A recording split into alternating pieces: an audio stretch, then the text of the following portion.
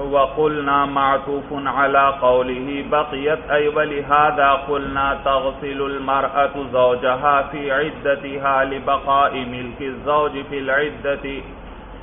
والمالك هو المحتاج إلى الغسل بخلاف ما إذا ماتت المرأة حيث لا يغسلها زوجها لأنها مملوكة وقد بطلت, وقد بطلت أهلية المملوكية بالموت.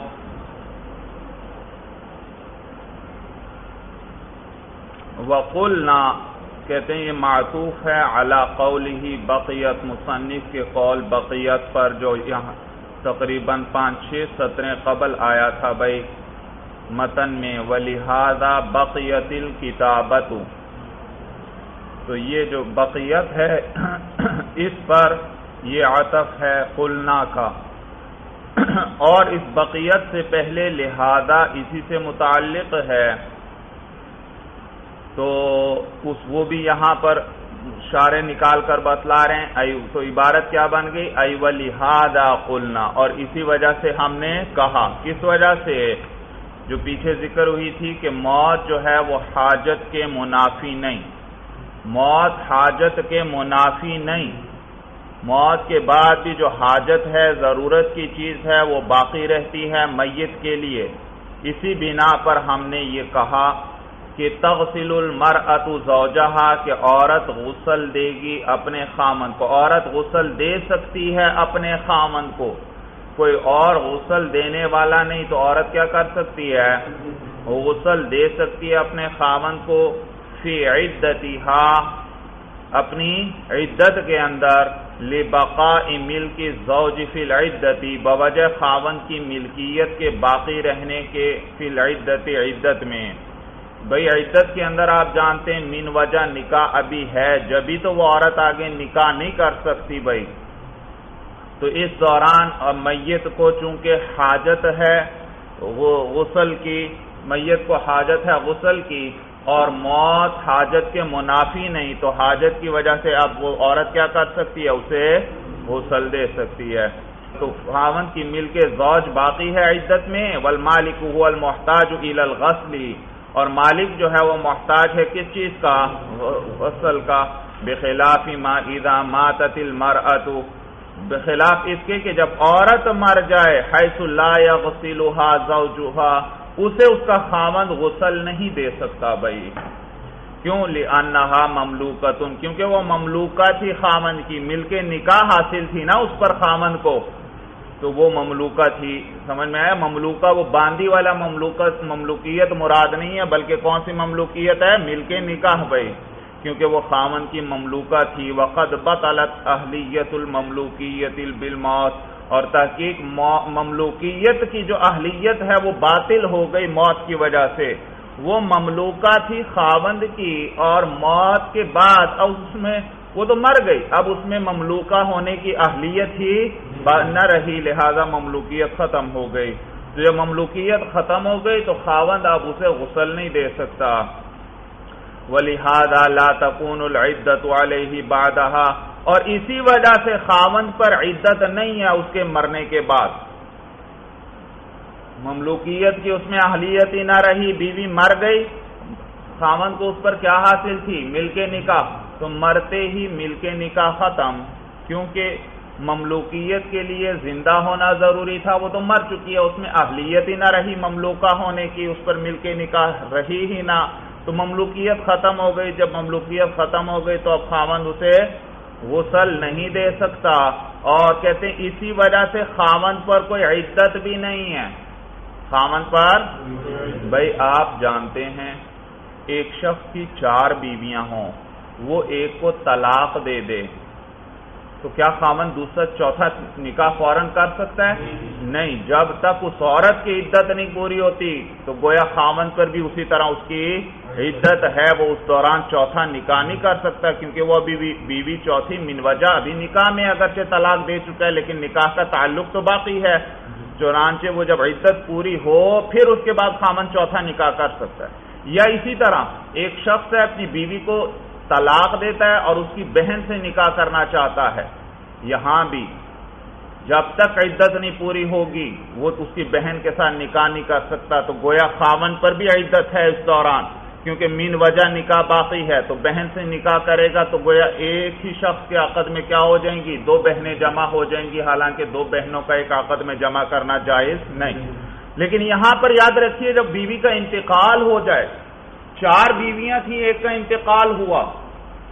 اب خامن پر کوئی عدت نہیں ہے، کیونکہ اس پر مل کے نکاح تھی مل کے نکاح انتقال کے ساتھ ہی ختم۔ کیوں ختم؟ کیونکہ عورت میں مملوکہ ہونے کی صلاحیت ہی نہ رکھ لہذا خامن فوراً چوتھا نکاح کرنا چاہتا ہے، کر سکتا ہے۔ سورج سمجھ میں آ گئی۔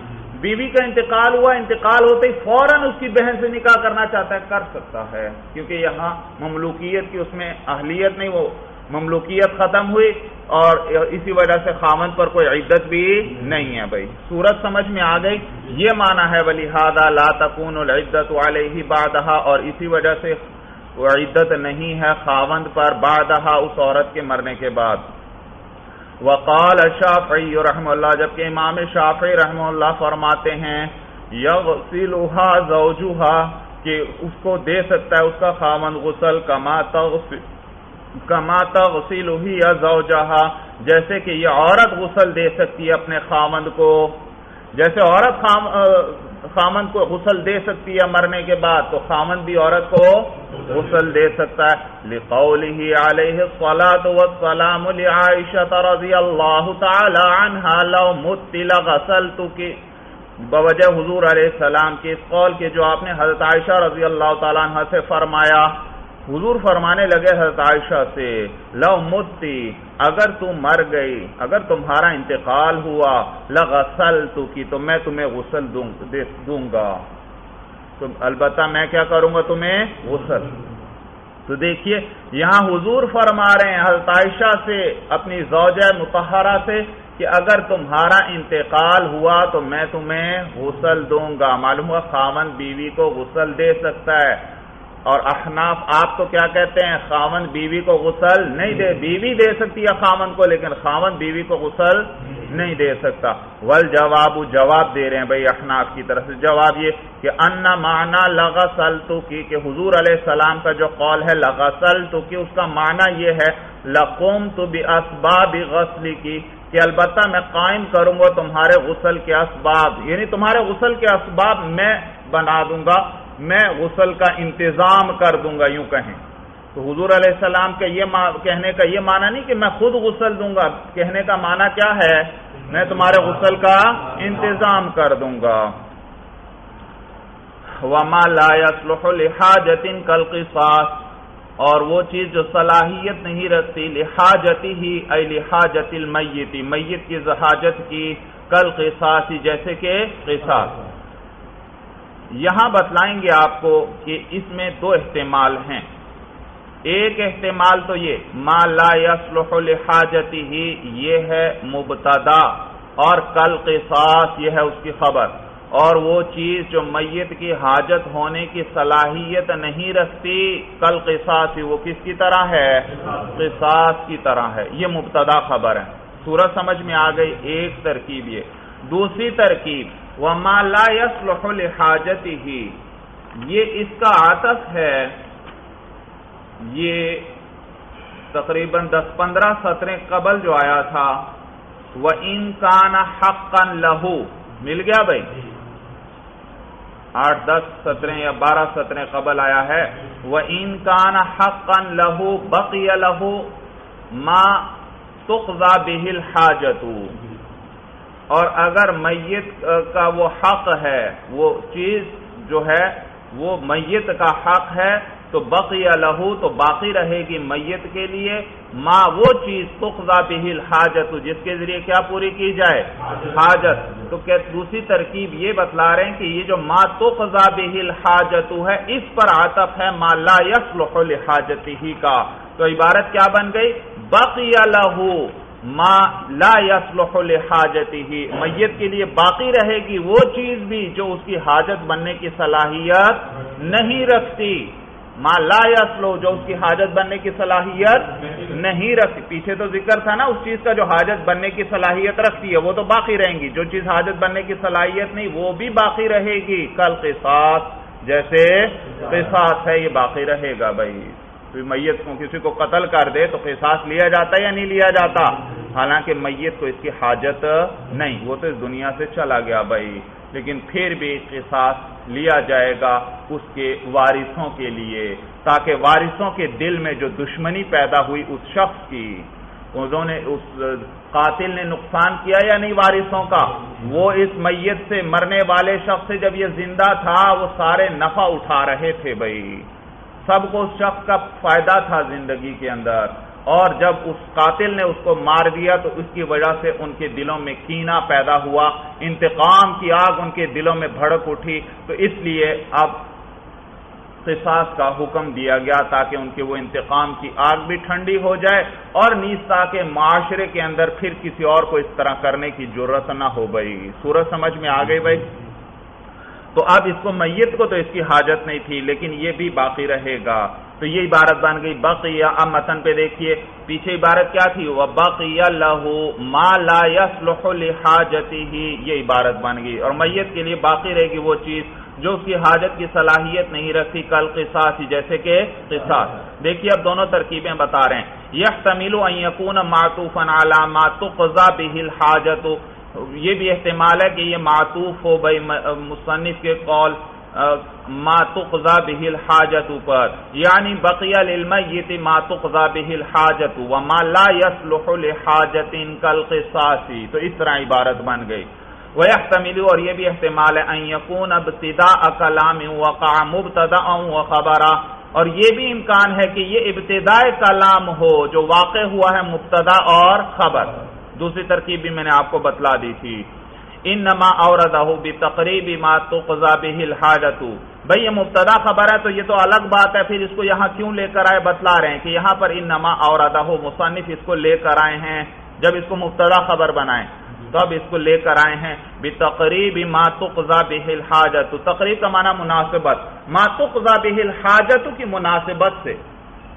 پیچھے کن چیزوں کا ذکر تھا؟ جن کے ذریعے میت کی حاجت پوری ہوگی، جو میت کی حاجت پوری کرنے کی صلاحیت رکھتی ہیں۔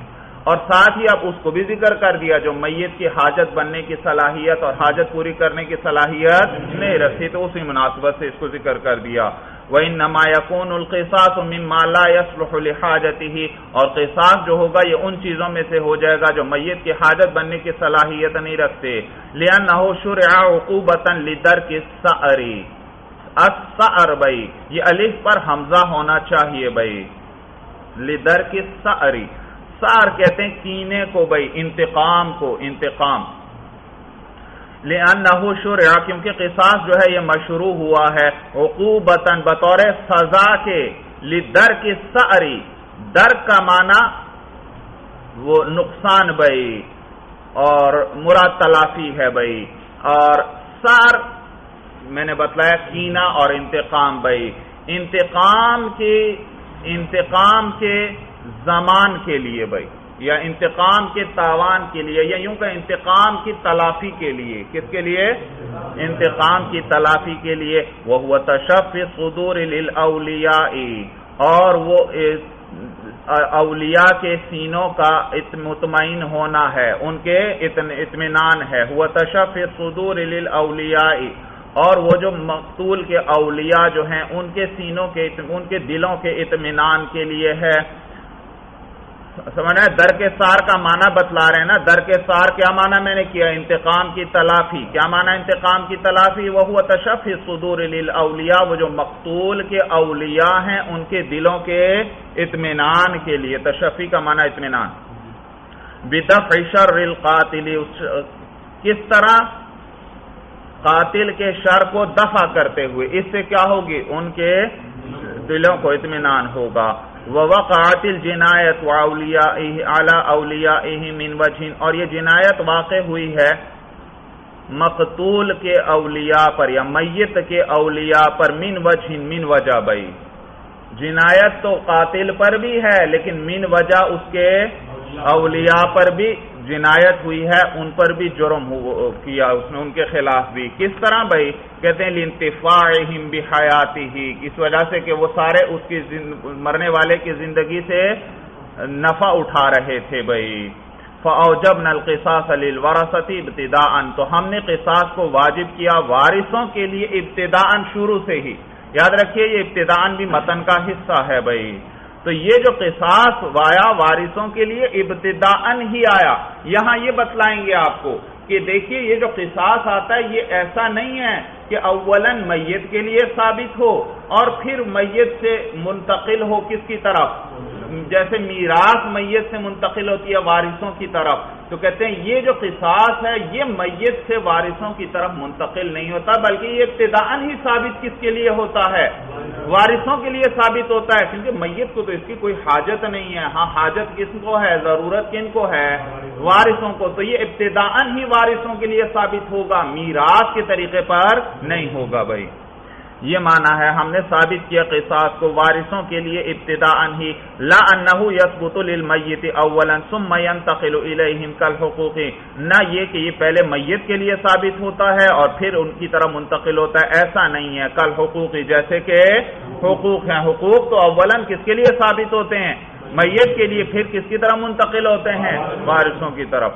وَالسَّبَبُ انعقد للمیت اور سبب منعقد ہوا ہے میت کے لیے۔ یہ موت کا سبب کس کے لیے منعقد ہوا اولا؟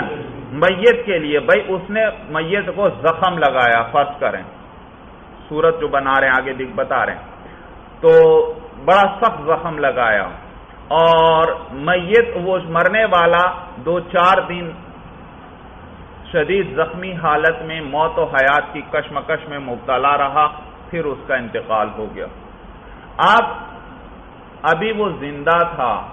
وہ معاف کرنا چاہے تو اس زخم لگانے والے کو معاف کر سکتا ہے۔ اور اس کے جو اولیاء ہیں، وہ بھی اس کے جو وارث بننے والے ہیں آگے، وہ بھی کیا کر سکتے ہیں؟ اس شخص کو زخم لگانے والے کو معاف کر سکتے ہیں۔ میت جو مرنے والا ہے، وہ کیوں معاف کر سکتا ہے؟ وجہ یہ کیونکہ یہ سبب اولن کس کے حق میں منعقد ہوا۔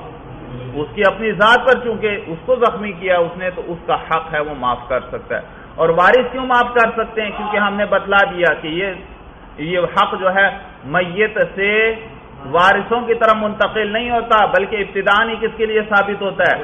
وارثوں۔ اگر اگر میت کے لیے حق ثابت ہو اور پھر منتقل ہو کس کی طرف؟ وارثوں کی طرف۔ پھر جب تک وہ مرا نہیں، اس وقت تک تو وارثوں کا کوئی دخل ہی نہیں بنتا۔ کیونکہ وہ مرنے کے بعد ان کو حق ملے گا نا۔ لیکن یہاں یہ کیا بتلا رہے ہیں؟ ابھی وہ مرا نہیں ہے، زخمی حالت میں ہے، لیکن ابھی بھی یہ کیا کر سکتے ہیں اس کو؟ معاف کا معلوم ہوا، ان کے لیے بھی ابتدان یہ اسی بنا پر ہم نے کہا کہ ان کے لیے ابتدان حق ثابت ہوتا ہے، وراثت کے طریقے پر ثابت نہیں۔ تو میت بھی معاف کر سکتی ہے اور وارث بھی معاف کر سکتے ہیں۔ میت اس لیے کیونکہ یہ سبب موت کا جو ہے کس کے حق میں منعقد ہوا ہے؟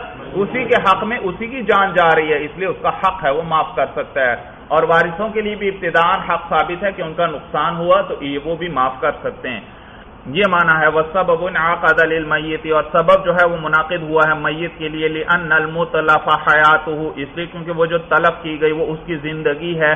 فکانت الجنایت واقعتا فی حقه من وجہ تو یہ جنایت، یہ جرم جو ہے واقع ہوا ہے اس کے حق میں من وجہ بعض اعتبارات سے اسی کے حق میں واقع ہوا ہے۔ فیصح عفو المجروح، پس صحیح ہے معاف کرنا اس مجروح، اس زخمی شخص کا۔ بے اعتباری ان سبب عقد للمورثی اس اس اعتبار سے کہ یہ جو موت کا سبب ہے، یہ منعقد ہوا ہے کس کے حق میں؟ مورث مورث کے حق میں وہ معاف کر سکتا ہے۔ اور اسی طرح صحیح ہے، عفو الوارثی وارث کا معاف کر دینا بھی قبل موت المجروح، مجروح کے مرنے سے پہلے۔ لان الحق باعتبار نفس الواجب للوارثی اس لیے کیونکہ یہ جو حق ہے، یہ وارث کے لیے نفس واجب کے اعتبار سے یہ ثابت ہی کس کے لیے ہے؟ ابتداء وارث کے لیے بھی ابتداء ہی ثابت ہوتا ہے۔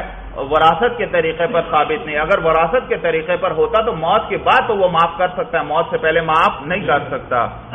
وقال ابو حنیفہ رحم اللہ، اور امام اعظم ابو حنیفہ رحم اللہ فرماتے ہیں، ان القصاص غیر موروث کہ قصاص جو ہے وہ موروثی نہیں ہے یعنی وراثت والی چیز جو وراثت کے طور پر ملے بھائی، وہ چیز نہیں ہے، تو موروثی چیز نہیں ہے۔ بھائی، اسی کے نیچے سطر میں ہے، لما قلنا۔ مل گیا بھائی؟ جی؟ یہ بھی یاد رکھیے، متن ہے۔ تو کہتے ہیں، وقال ابو حنیف، امام اعظم ابو حنیفہ رحم اللہ فرماتے ہیں کہ ان القصاص غیر موروث لما قلنا، کہ قصاص غیر موروث ہے یعنی موروثی چیز نہیں ہے، لما قلنا، اس وجہ سے جو ہم نے کہا۔ ابھی علت تفصیل بیان کر دی کہ قصاص موروثی نہیں۔ یہ نہیں کہ اولن میت کے لیے ثابت ہو اور پھر کس کی طرح منتقل ہو، وارثوں کی طرف بلکہ ابتدان ہی کس کے لیے ثابت ہوتا ہے؟ وارثوں کے لیے۔ ای لا يثبت على وجه تجری فيه سهام الورثه بل يثبت ابتداء للورثه یعنی قصاص جو ہے، یہ ثابت نہیں ہوتا ایسے طریقے پر کہ اس کے اندر جاری ہوں وارثوں کے حصے، بل یہ بلکہ یہ ثابت ہوتا ہے ابتدائی طور پر ہی وارثوں کے لیے. لما قلنا، اسی وجہ سے جو ہم نے کہا، کیا کہا تھا ہم نے؟ اشارے بتلا رہے ہیں کہ ان الغرض درک سعرہم، کہ غرض کیا ہے؟ مقصد کیا ہے قصاص کے ذریعے؟ درک سعرہم، ان کے انتقام کی ان کے انتقام کی تلافی ہے، بھائی اس کا زمان ہے۔ ولیکن لما کان مانا کان مانا واحد لا يحتمل التجزی، لیکن چونکہ یہ ایک ایک معنی ہے، استعمال نہیں رکھتا تجزی کا یعنی تقسیم کا۔ قصاص تو ایک ہے، قصاص میں تقسیم ہو سکتی ہے بھائی۔ قصاص میں تقسیم نہیں ہو سکتی بھائی۔ تو کہتے ہیں، چونکہ یہ ایک ایسا معنی ہے جو تقسیم کا استعمال نہیں رکھتا سبت لکل واحد اعلی سبیل الکمالی تو ہر ایک کے لیے کامل طور پر یہ ثابت ہوگا۔ یعنی ہر وارث کے لیے قصاص کا پورا پورا حق ہوگا۔ ہر وارث کے لیے قصاص کا پورا پورا۔ بھائی، کیونکہ بات دیکھیے، اگر وراثت کے طور پر قصاص ملتا، تو وراثت کے اندر تو مال آ کر تقسیم ہوتا ہے۔ ہر ایک کا ایک لاکھ روپیہ مثلا میراث ہے۔ تو ہر ایک کو تھوڑا تھوڑا حصہ مل جائے گا اس میں سے۔ تو ہر ایک کو تھوڑا تھوڑا ملا یا پورا ملا؟ تھوڑا تھوڑا۔ لیکن یہاں پر میراث کے طریقے پر قصاص آیا ہی نہیں۔ ابتدان ہی کس کے لیے ثابت ہوا؟ وارث۔ جب ابتدان وارثوں کے لیے ثابت ہوا تو تھوڑا تھوڑا نہیں۔ ہر ایک کے لیے پورا پورا ثابت ہوگا۔ اس میں تقسیم نہیں ہو سکتی بھائی۔ سورج سمجھ میں آ گئی بھائی۔ تو یہ میراث کے طریقے پر ثابت ہی نہیں ہوا کہ اس میں تقسیم مانا جائے اور نیز اس لیے کیونکہ یہ تقسیم کا استعمال نہیں رکھتا۔ کا ولایت النکاح للاخوتی، جیسے کہ نکاح کروانے کی ولایت ہے بھائیوں کے لیے۔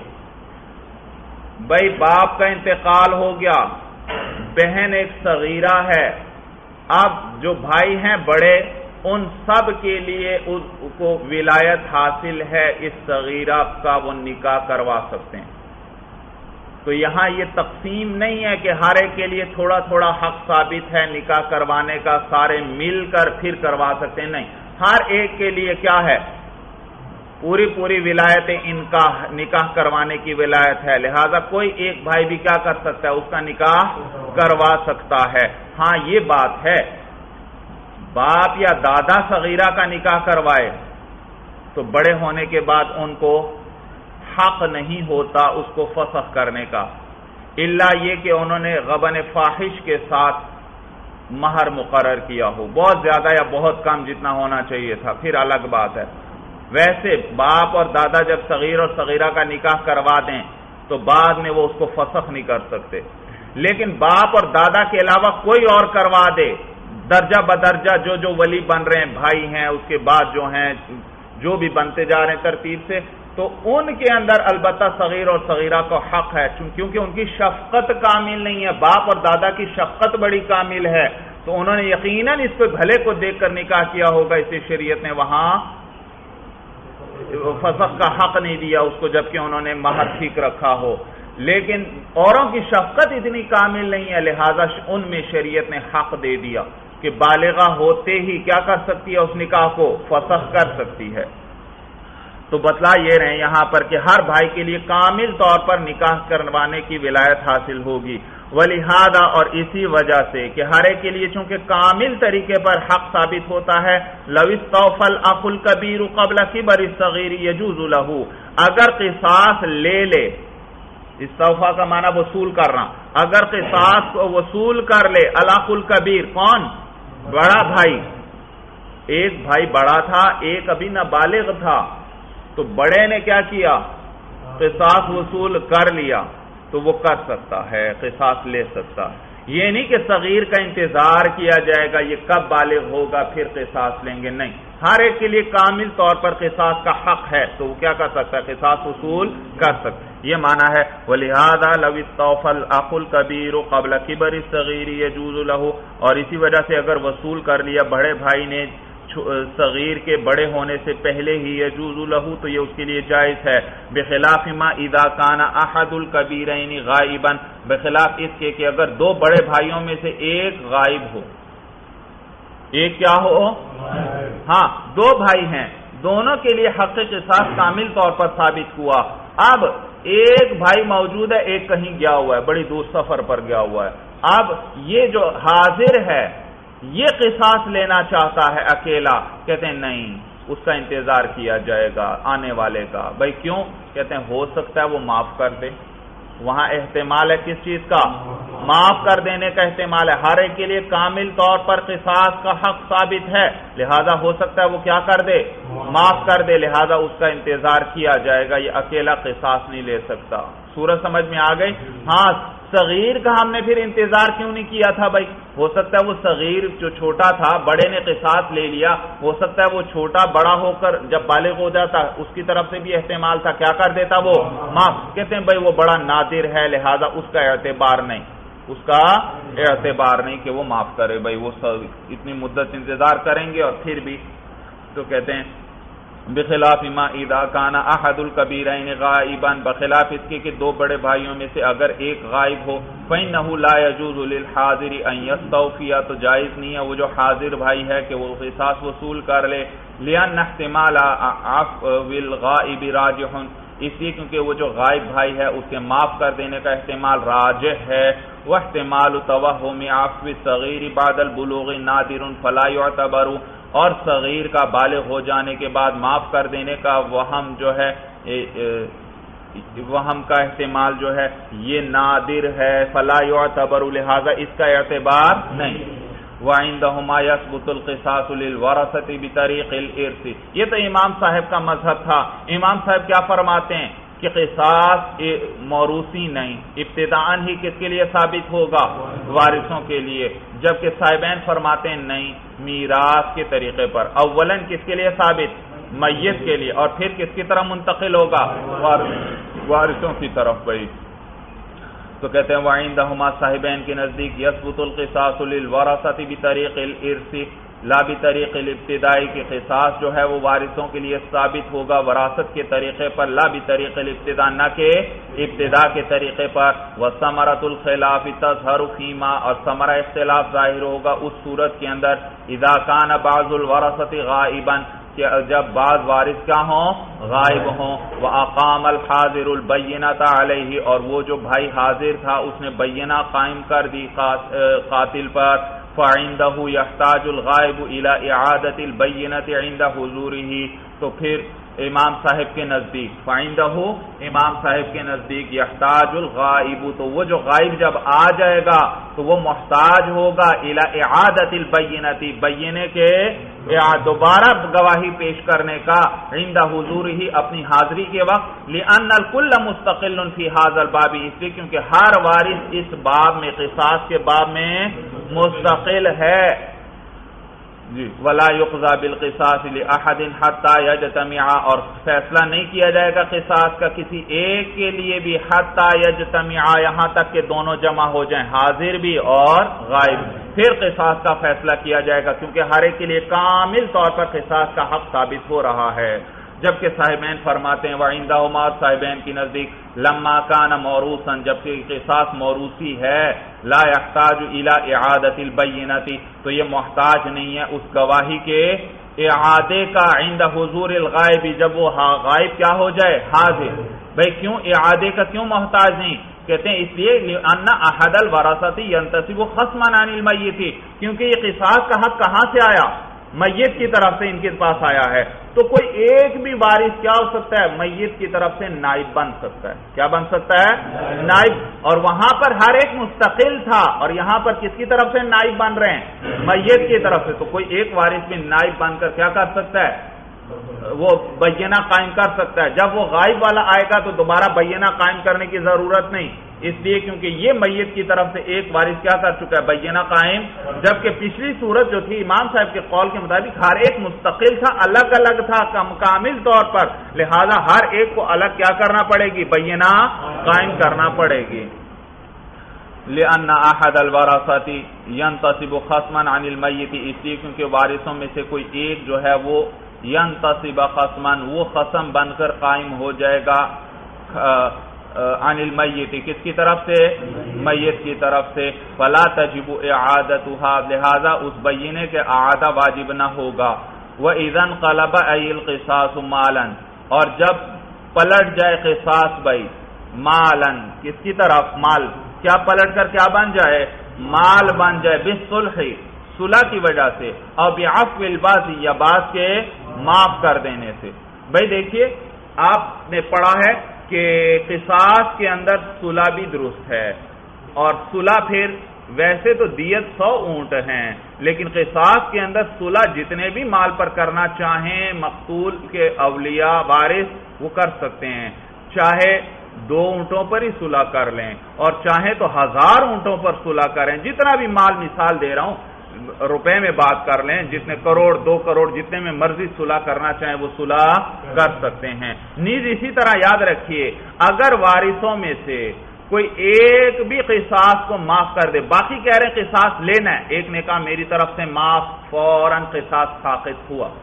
کیوں ساقط ہوا؟ ابھی پیچھے وجہ ذکر ہوئی کیونکہ قصاص میں تجزی نہیں تقسیم نہیں ایسا نہیں ہو سکتا کچھ لیا جائے اور کچھ نہ لیا جائے۔ تو جب کچھ نے معاف کر دیا تو اب قصاص نہیں ہو سکتا بھائی۔ آپ پھر باقی کیا کریں گے؟ وہ کہتے ہیں باقیوں کو مال دیا جائے گا۔ بھائی کس طرح مال دیا جائے گا؟ کہتے ہیں یوں سمجھو دیت آئی۔ کیا آئی؟ سو اونٹ آئے۔ سو میں سے یہ جو اس نے معاف کیا اس کا حق دس اونٹ بنتے تھے، تقسیم ہم نے حساب لگایا، وراثت کتنی بنتی ہے؟ دس۔ باقی نوے بچ گئے، وہ نوے اسی طرح آئیں گے اور باقیوں کے اندر کیا ہو جائیں گے؟ تقسیم ہو جائیں گے۔ تو اب دیت کی طرف ہم چلے جائیں گے اور اس میں سے حساب لگائیں گے۔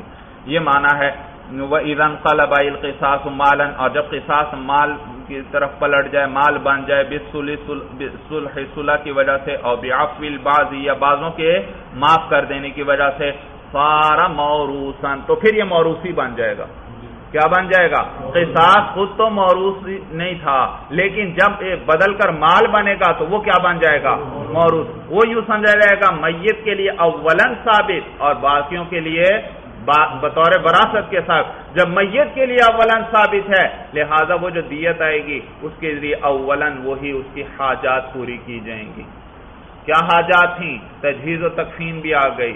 اس کے اس کے وہ، اس کے دیون بھی اس سے ادا کیے جائیں گے۔ اس کی وسیعت بھی اس کے اندر کیا کی جائے گی؟ نہ جو جو چیزیں تھیں وہ ساری اسی میں آ جائیں گی، جیسے اس کا اپنا مال تھا بھائی۔ سورج سمجھ میں آ گئے۔ تو یہ موروثی بن جائے گا۔ فیقون حکم ہو حکم الاموالی تو اس جو یہ جو دیت ہے، یہ جو مال ہے، اس کا حکم، وہ اموال والا حکم ہوگا۔ تقضا دیونہ منہ یہاں تک کہ ادا کیے جائیں گے اس میت کے دیون اس میں سے۔ وتنفذ وصایاہ اور اس کی وصیتیں نافذ کی جائیں گی اس میں سے۔ وین تصب احد الورا خصما عن المیت اور قائم ہو جائے گا وارثوں میں سے کوئی ایک بھی فریق بن کر کس کی طرف سے؟ میت کی طرف سے۔ فلا احتاج الى اعادت البینت لہذا وہ محتاج نہیں ہوگا بینے کے دوبارہ اعادے کا، لوٹانے کا۔ لان الدیت خلف عن القصاص۔ اس لیے کیونکہ دیت جو ہے وہ نائب ہے قصاص سے۔ اچھا بھائی، یہ کیا بات ہے؟ قصاص تو موروثی نہیں تھا، اور دیت جو اس کی نائب ہے وہ موروثی ہے۔ حالانکہ نائب کا وہی حکم ہوتا ہے جو اصل کا ہوتا ہے، اصل تو موروثی نہیں تھا، قصاص، تو قصاص کے بعد جو دیت آئی، مال آیا وہ بھی موروثی نہیں ہونا چاہیے۔ کہتے ہیں نہیں بھائی، یہ نائب ہے اور نائب بعض احکامات کے اندر وہ اصل سے مختلف بھی ہو سکتا ہے۔ آپ دیکھتے نہیں، تیمم نائب ہے وضو کا۔ لیکن حکم میں مختلف ہے۔ وضو کے اندر نیت شرط نہیں، تیمم کے اندر نیت شرط ہے، فرض ہے بھائی، نیت نہیں کریں گے تو تیمم ہی نہیں ہوگا بھائی۔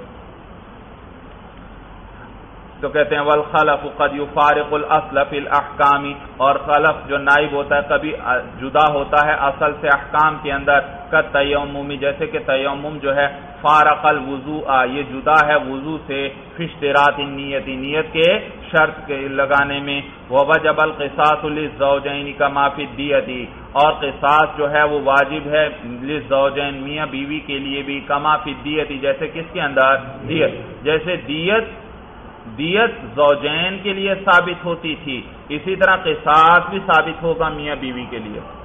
یعنی بیوی اپنے مقتول خاوند کی طرف سے قصاص لے سکتی ہے اور خاوند اپنی مقتولہ بیوی کی طرف سے قصاص لے سکتی جیسے دیت کے اندر ان دونوں کا حق تھا۔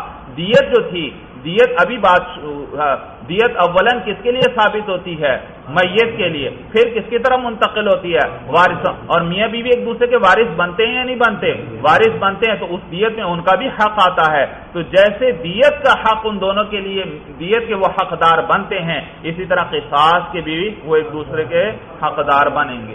یہ مانا ہے وہ وجب القصاص الزوجین کما فی دیتی اور قصاص واجب ہوگا، ثابت ہوگا میاں بیوی کے لیے بھی، جیسے کہ دیت میں ہے فیم بغی ان تختص المرأة من الزوجی پس مناسب یہ ہے کہ قصاص لے بیوی من الزوجی خاوند کی طرف سے، وہ جو خاوند جو مقتول ہے، اس کی طرف سے۔ سمجھ میں یہ ترجمہ نہ کرنا کہ بیوی قصاص لے خاوند سے۔ بلکہ یہ مراد نہیں ہے، بلکہ کیا مراد ہے؟ ہاں، وہ خامن جو قتل ہو چکا ہے، مقتول ہے، اس کی طرف سے قصاص لے وہ من المرآتی المر آتی اور اسی طرح خاون کے ساتھ لے کس کی طرف سے، اس بیوی کی طرف سے جو مقتولہ ہے، ولیکن عندہ ابتداءن لیکن امام صاحب کے نزدیک یہ قصاص کس طرح آئے گا؟ ابتدا ان آئے گا۔ وہ آئندہ ہما بھی اور صاحبین کے نزدیک یہ قصاص کس طرح آئے گا؟ وراثت کے طریقے پر کمایت الحمد استحقاق دیت بھی طریق الرسی جیسے کہ ان دونوں کے لیے دیت کا استحقاق بھی ثابت ہوتا ہے وراثت کے طریقے پر۔ دیت کے مستحق ہوتے ہیں یا نہیں بھائی؟ لیکن کس طرح مستحق ہوتے تھے دیت کے؟ وراثت کے طریقے پر۔ اولن وہ دیت کس کے لیے ثابت؟ مرنے والے کے لیے۔ پھر اس کے بعد اس کے وارثوں اور میاں بیوی میں سے جو زندہ اس کی طرح منتقل ہوتی۔ وقال مالک رحم اللہ، اور امام مالک رحم اللہ فرماتے ہیں، لا یرث الزوج والزوجۃ من الدیت۔ کہ زوج اور زوجہ میاں بیوی جو ہیں وہ دیت کے وارث نہیں ہوں گے، لأن وجوبها بعد الموت۔ اس لیے کیونکہ دیت کا وجوب کب آتا ہے؟ موت کے بعد آتا ہے۔ وہ زوجیت تنقطع به۔ اور زوجیت جو ہے وہ تو موت کی وجہ سے ٹوٹ چکی۔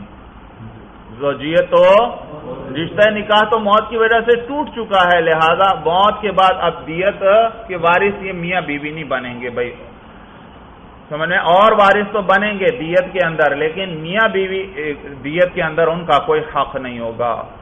ولانا اور ہماری دلیل یہ ہے کہ انہو علیہ السلام ہمارا بطوری سی مرآتی اشیام زبابی کہ حضور علیہ السلام نے وارث بنانے کا حکم دیا کس کو؟ اشیم زبابی کو۔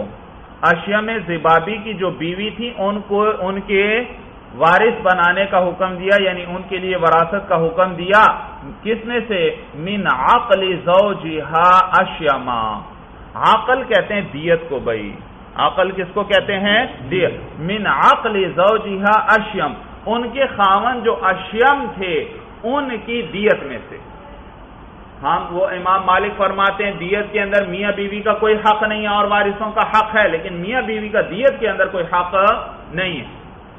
وہ ہم کہتے ہیں کہ اشیم زبابی جو ہیں، وہ ان کو قتل کیا کسی نے خطا اور ان کی جو دیت ملی، حضور علیہ السلام نے ان کی بیوی جو تھی، ان کو دیت کے اندر ان کا حصہ بھی، ان کو بھی وارثہ بنایا بھائی۔ مانا سمجھ میں آ گیا بھائی؟ وَلَهُ میت حُكْمُ الْإِحْيَاءِ فِي أَحْكَامِ الْآخِرَةِ۔ اور جو میت ہے اس کے لیے زندہ, زندہ, زندہ کرنے کا حکم ہے آخرت کے احکام میں۔ یہ احیاء بھی درست بنتا ہے یہاں اور احیاء بھی احیاء بھی اور احیاء۔ احیاء۔ ہو تو جمع ہے حی ان کی۔ اور احیاء ہو تو مصدر ہے زندگی دینا۔ زندگی دینا زندہ کرنا۔ کہتے ہیں میت کے لیے زندہ کرنے کا حکم ہے آخرت کے احکام میں۔ کس کے احکام میں؟ یا یوں کریں، میت کے لیے زندوں کا حکم ہے آخرت کے احکام میں۔ تو احکام بھی درست، احیاء پڑھ لیں، وہ بھی درست ہے بھائی۔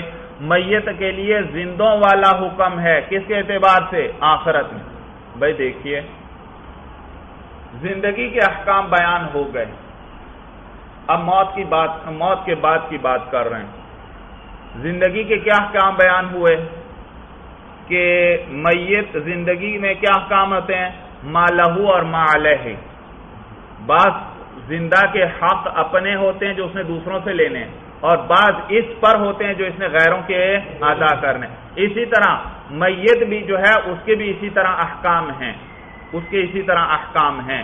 یعنی جو اس نے کسی کا حق دینا ہے آخرت میں دینا پڑے گا جو اس نے کسی سے حق لینا ہے وہ اس کو آخرت میں اس کو ملے گا بھائی سورج سمجھ میں آ گئی بھائی تو کہتے ہیں یہ جو ہے یہ مرنے والے کے لیے حکم آخرت کے احکام میں کس کی طرح کا حکم ہے زندوں والا حکم ہے یا یوں کہ زندگی دینے کا حکم ہے جس طرح بچہ پیدا ہوتا ہے زندگی ملی اس کو تو گہوارے میں رکھا جاتا ہے، اس کو وہ جھولے میں رکھا جاتا ہے۔ اسی طرح میت کو جو ہے، قبر میں رکھا جاتا ہے۔ تو جیسے زندگی ملتی ہے، بچے کو وہ جھولے میں رکھا گیا، تو یہ نئی زندگی اس کو ملی ہے۔ اب اور کیا وہ جھولے میں ہی رہے گا یا جھولے سے نکلے گا پھر؟ جھولے سے نکلے گا۔ اسی طرح مرنے والا کیا ہمیشہ قبر میں رہے گا یا قبر سے آخرت میں نکلے گا بھائی؟ آخرت میں نکلے گا۔ سورج سمجھ میں آ گئے تو یہاں جیسے بچہ جو جھولے میں تھا، اس کے لیے ماں لہو بھی ہوتے تھے اور ماں علیہ بھی۔ اسی طرح مرنے والا جو جس کو ہم نے قبر میں رکھا، اس کے لیے آخرت میں ماں لہو بھی ہوں گے اور ماں علیہ بھی ہوں گے۔ جو نیکیاں کی ہوں گی، ان کا بھی بدلہ ملے گا اور جو برائیاں کی ہیں، ان کی بھی جزا ملے گی۔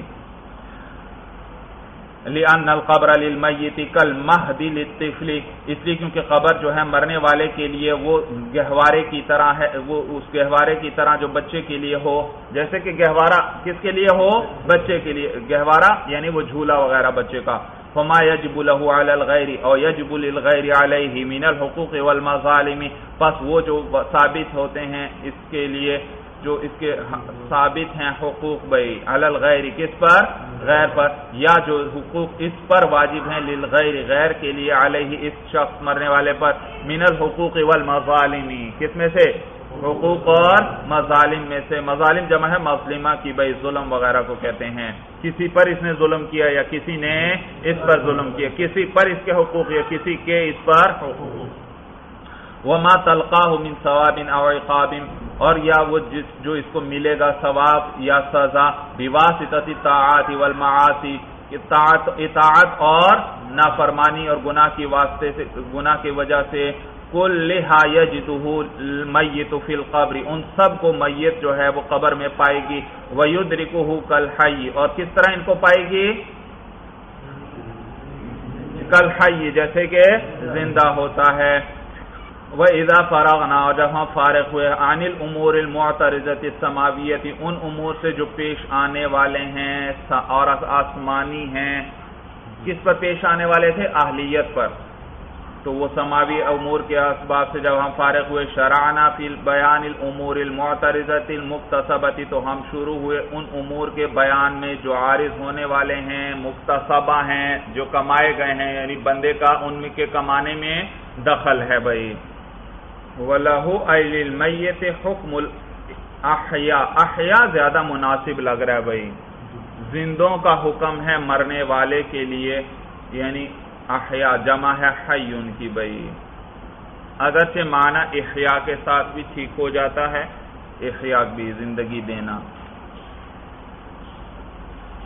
فَقَوْلُهُ وَمُقْتَسَبٌ۔ پس مصنف کا قول جو ہے وہ مختصب عطف علی قوله سماوی۔ اس کا عطف ہے مصنف کے قول سماوی پر بئی کئی صفحے پیشتر جہاں سے یہ بحث شروع ہوئی تھی، وہاں پر بتلایا تھا انہوں نے بھائی آپ کو کہ والامور المعترضت علی الاہلیت نوعانی کہ وہ امور جو پیش آتے ہیں اہلیت پر، دو قسم کے ہیں، سماوی ایک سماوی ہیں، وہ مختصب اور دوسرے کیا ہیں؟ مختصب، تو یہ مختصب کا عطف اس سماوی پر ہے۔ وہ ہوا ماکان بھائی مختصب کہتے کہ ان کو ہیں بتلا رہے ہیں۔ وہ ہوا ماکان الاختیار العبد مدخل فی حصول ہی اور یہ وہ افعال ہیں کہ جن میں بندے کا اختیار ہو، بندے کے اختیار کا دخل ہوتا ہے ان کے حاصل ہونے میں۔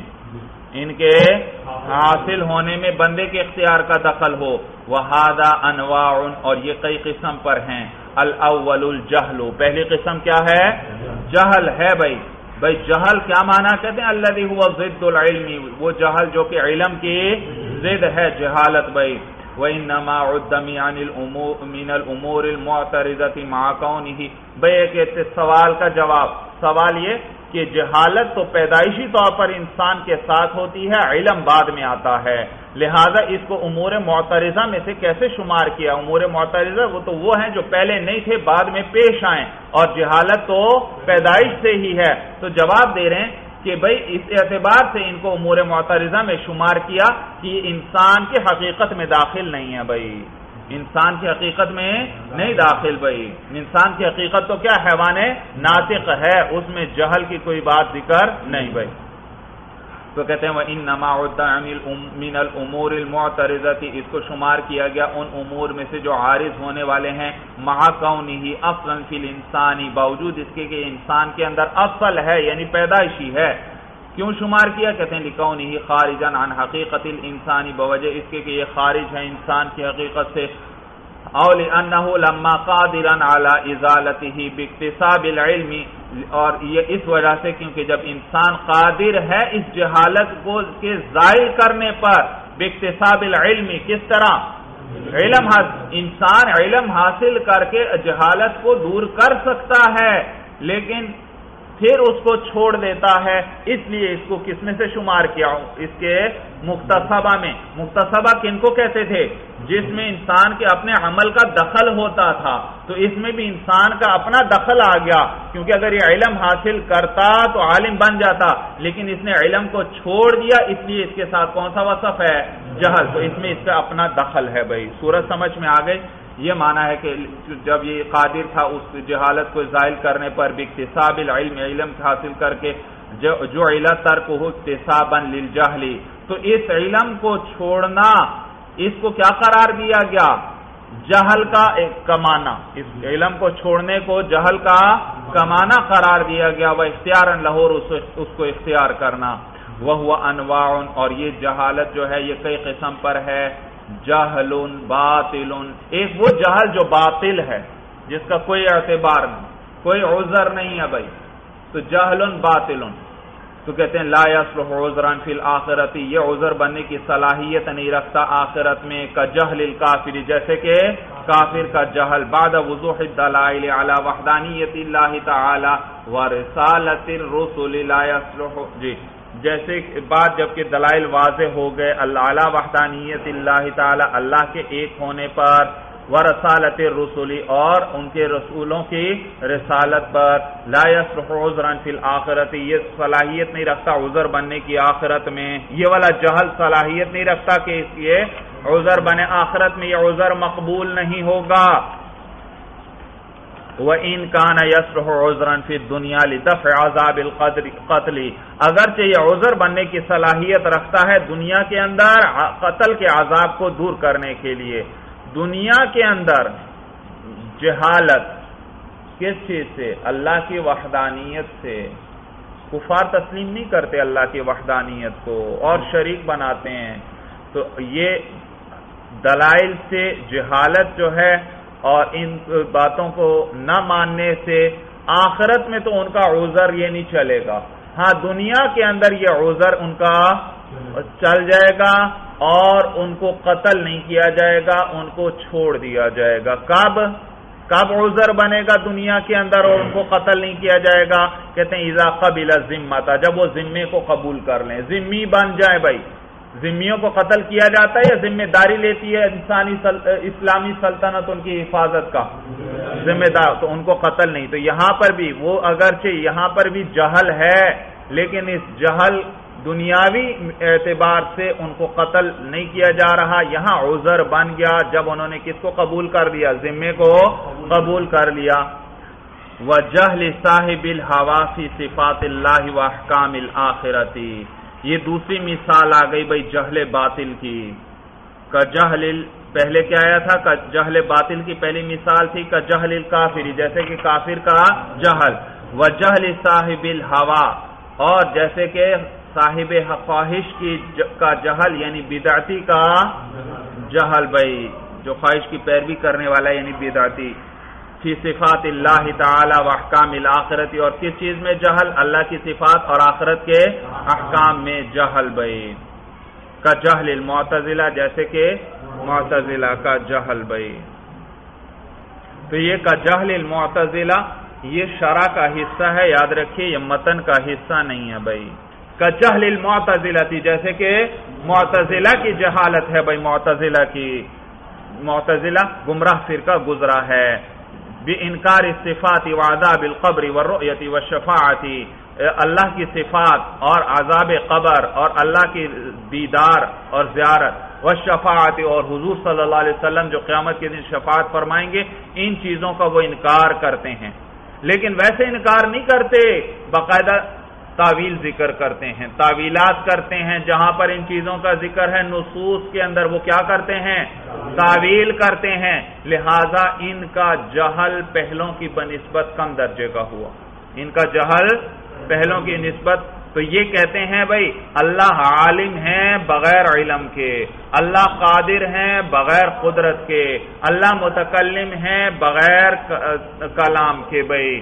اور اسی طرح عذاب قبر کا انکار کرتے ہیں۔ اللہ کے رویت کا جنت میں اللہ کی رویت ہوگی، اللہ کے دیدار ہوگا، اس کا انکار کرتے ہیں۔ حضور علیہ السلام شفاعت فرمائیں گے، سفارش فرمائیں گے بھائی۔ اللہ ہم سب کو حضور صلی اللہ علیہ وسلم کی شفاعت نصیب فرمائے بھائی۔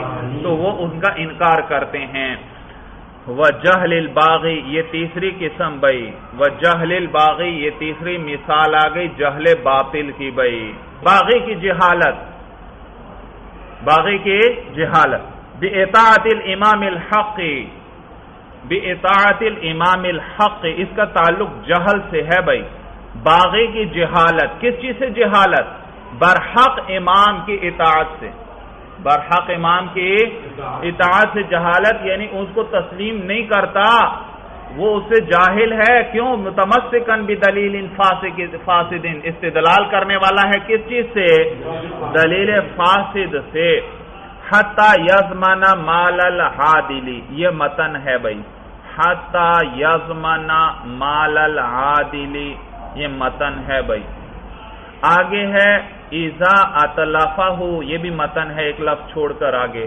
ایزا اطلافہ ہو تو متن کیا بن گیا؟ حتا یزمانا مال العادلی ایزا اطلافہ ہو یہ متن ہے بھائی۔ حتا یزمانا مال العادلی یہاں تک کہ وہ ضامین ہوگا۔ مال العادلی عادل شخص کے مال کا۔ وہ نفس اور اس کی جان کا بھی۔ ایزا اطلافہ جب اس کو طلب کر دے۔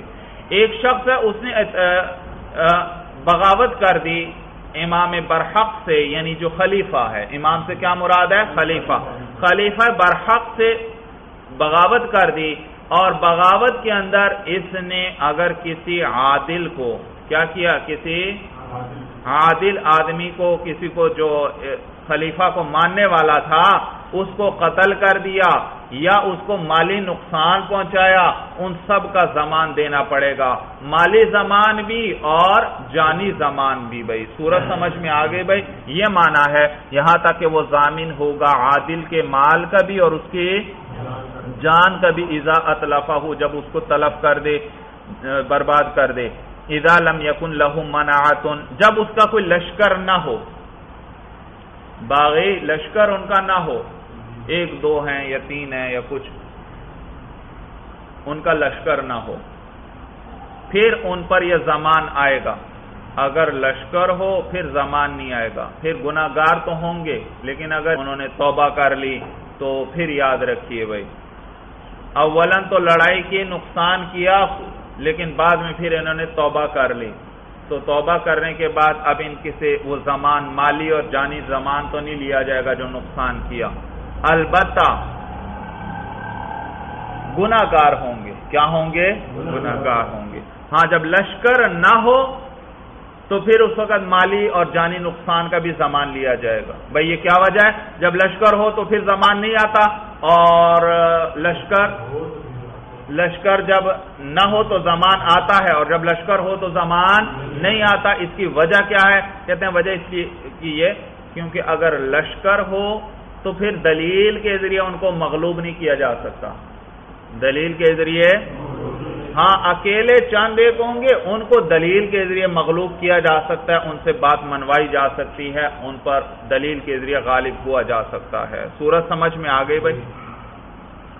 تو کہتے ہیں ایزالم دیکھیے، خود بیان کر رہے ہیں۔ کہتے ہیں ایزالم یقن لہو منعت جبکہ اس کا لش، ان کا لشکر نہ ہو۔ لیا نہ یم کینو الزام ہو بدلیلی والجبر علی الزمانی اس لیے کیونکہ ممکن ہے۔ کیا ممکن ہے؟ الزام ہو بدلیل دلیل کے ذریعے ان پر الزام یعنی ان پر غالبانہ دلیل کے ذریعے ان پر غالبانہ ممکن ہے۔ والجبر علی الزمان، اور زمان کی تلافی بھی ممکن ہے۔ وہ اما ادا کان لہو منعتن، باقی جب اس کا لشکر ہو، فلا یو قدوب زمان ما اطلفہ ہو تو ان کا مواخذہ نہیں کیا جائے گا اس چیز کے زمان کے ساتھ جس کا انہوں جس کو انہوں نے طلب کر دیا۔ بعد توبتی توبہ کرنے کے بعد، کما لا یو قدو اہل الحرب بعد الاسلامی۔ جیسے کہ مواخذہ نہیں کیا جاتا اہل حرب کا اسلام لانے کے بعد۔ بھائی کفار کا ایک لشکر آیا، مسلمانوں سے جنگ شروع کر دی، نقصان کیا۔ پھر بعد میں وہ ایمان لے آئے۔ تو کیا ان سے مواخذہ ہوگا؟ ان سے وہ زمان وغیرہ لیا جائے گا؟ نہیں۔ تو جیسے ان سے وہ لشکر والوں سے زمان نہیں لیا جاتا تھا بعد میں، تو یہاں بھی ان لشکر والوں سے بعد میں زمان نہیں لیا جائے گا۔ وجہ من خالف اشتہاد ہل کتاب یہ چوتھی قسم، چوتھی مثال آ گئی کس کی؟ جہل باطل کی بھائی، چوتھی قسم۔ اور جہالت اس شخص کی جو مخالفت کرتا ہے، فی جتحاد ہی اپنے اشتہاد میں الکتاب، کس کی؟ کتاب اللہ کی۔ جو مخالفت کرتا ہے اپنے اجتہاد میں کتاب اللہ کی۔ آگے ایک ڈیڑھ سطر بعد آ رہا ہے وہ سنتا یہ بھی یاد رکھیے، متن ہے۔ وہ سنتا سنت سے آگے ایک لفظ چھوڑ کر آ رہا ہے، کل فتوا امہات الاولادی و نحوی ہی تو وہ نحوی ہی پڑھیں بھائی، یہ بیع پر آتف کریں، بیع پر، بیع امہات۔ تو یہ بھی متن ہے، کل فتوا بیع امہات الاولادی و نحوی ہی یہ بھی متن ہے۔ بھائی وہ جہل من خالفہ اور جہل اس شخص کا جس نے مخالفت کی، اپنے اشتہاد میں کتاب اللہ کی اور سنت کی۔ کا جہل شافعی رحمہ اللہ تعالی فی حل مترو کی تسمیتی عامدن قیاسن اعلی مترو کی تسمیتی ناسین جیسے کہ امام شافی رحم اللہ کی جہالت، جس وہ زبیحہ جس پر بسم اللہ کو جان بوجھ کر چھوڑ دیا گیا، اس کے حلال ہونے میں، وہ اس کو کیا قرار دیتے ہیں؟ حلال۔ قیاسن اعلی مترو کی تسمیتی ناسین قیاس کرتے ہوئے کس پر؟ وہ جس پر بسم اللہ کو چھوڑ دیا گیا ہے ناسین بھولے سے۔ فن مخالف القول تعالیٰ پس یہ جو ہے، مخالف ہے اللہ تعالیٰ کے اس قول کے۔ ولا تاکلوا مما لم یذکر اسم اللہ علیہ کہ تم نہ کھا اس ذبیحے کو جس پر اللہ کا ذکر نہ کیا گیا ہو، اللہ کا نام نہ لیا گیا ہو۔ وہ سنت المشہور آتا اور مخالفت کی جس نے اپنے اشتہاد میں کس چیز کی سنت مشہور حدیث مشہور کی۔ کل فتوا ببیع امہات الاولاد و نحوی جیسے کہ فتوا ہے کس چیز کا؟ امہات الاولاد کے بیچنے کا اور اس جیسے بھائی فتوے۔ امہات الاولاد بھائی وہ جو باندی جس نے بچے کو جنم دیا ہے آقا کے، آقا نے بھی اقرار کر لیا کہ یہ میرا بچہ ہے، یہ ہے ام ولد۔ یہ کیا ہے؟ اسی کی جمع کیا ہے؟ امہات الاولاد تو وہ جو ام ولد باندھ۔ اب آپ پڑھ چکے ہیں کہ ام ولد کو بیچنا جائز نہیں کیونکہ اس نے آقا کے مرنے کے بعد آزاد ہونا ہے۔ اگر اس کو بیچا جائے گا تو اس کا حق آزادی ضائع ہوتا ہے، لہذا اس کو بیچنے کی اجازت نہیں ہے بھائی۔ تو لیکن بعض نے فتوا دیا کہ امہات الاولاد کو بیچنا جائز ہے۔ تو یہ حدیث مشہور کے خلاف ہے۔ سمجھ میں آیا بھائی؟ حدیث مشہور کے خلاف ہے۔ فل جہل فتوا بیع امہات الاولاد جہل من داود الاسفہانی یہ امہات الاولاد کے بیچنے کا فتوا جو ہے یہ جہل ہے۔ کس سے؟ داؤد اسفہانی سے وتابعیہ اور ان کے جو اتباع کرنے والے ہیں، حیث ذہبوا الى جواز بیعیہا اس حیثیت سے کہ وہ گئے ہیں اس کی بیع کے جائز ہونے کی طرف۔ لحدیث جابر رضی اللہ تعالی عنہ جابر رضی اللہ تعالیٰ عنہ کی حدیث کی وجہ سے جو حدیث میں آتا ہے کیا؟ کہ کننا نبیع امہات الاولاد علی عہد رسول اللہ صلی اللہ علیہ وسلم، کہ ہم بیچا کرتے تھے۔ امہات الاولاد کو حضور علیہ السلام کے زمانے میں وہ ہوا مخالف اور یہ مخالف ہے لحدیث المشہوری، کس کے حدیث مشہور کے؟ آنی قولہ علیہ السلام یعنی حضور علیہ السلام کا وہ قول جو ہے لیمراتی ولدت من سیدہا، جو آپ نے فرمایا اس عورت سے جس نے جنم دیا تھا اپنے آقا سے، ہی معتقت عن دبر منہ۔ حضور علیہ، یہ حدیث آ گئی۔ کہ یہ عورت جو ہے آزاد ہے، عن دبر منہ، اپنے آقا کے پیچھے۔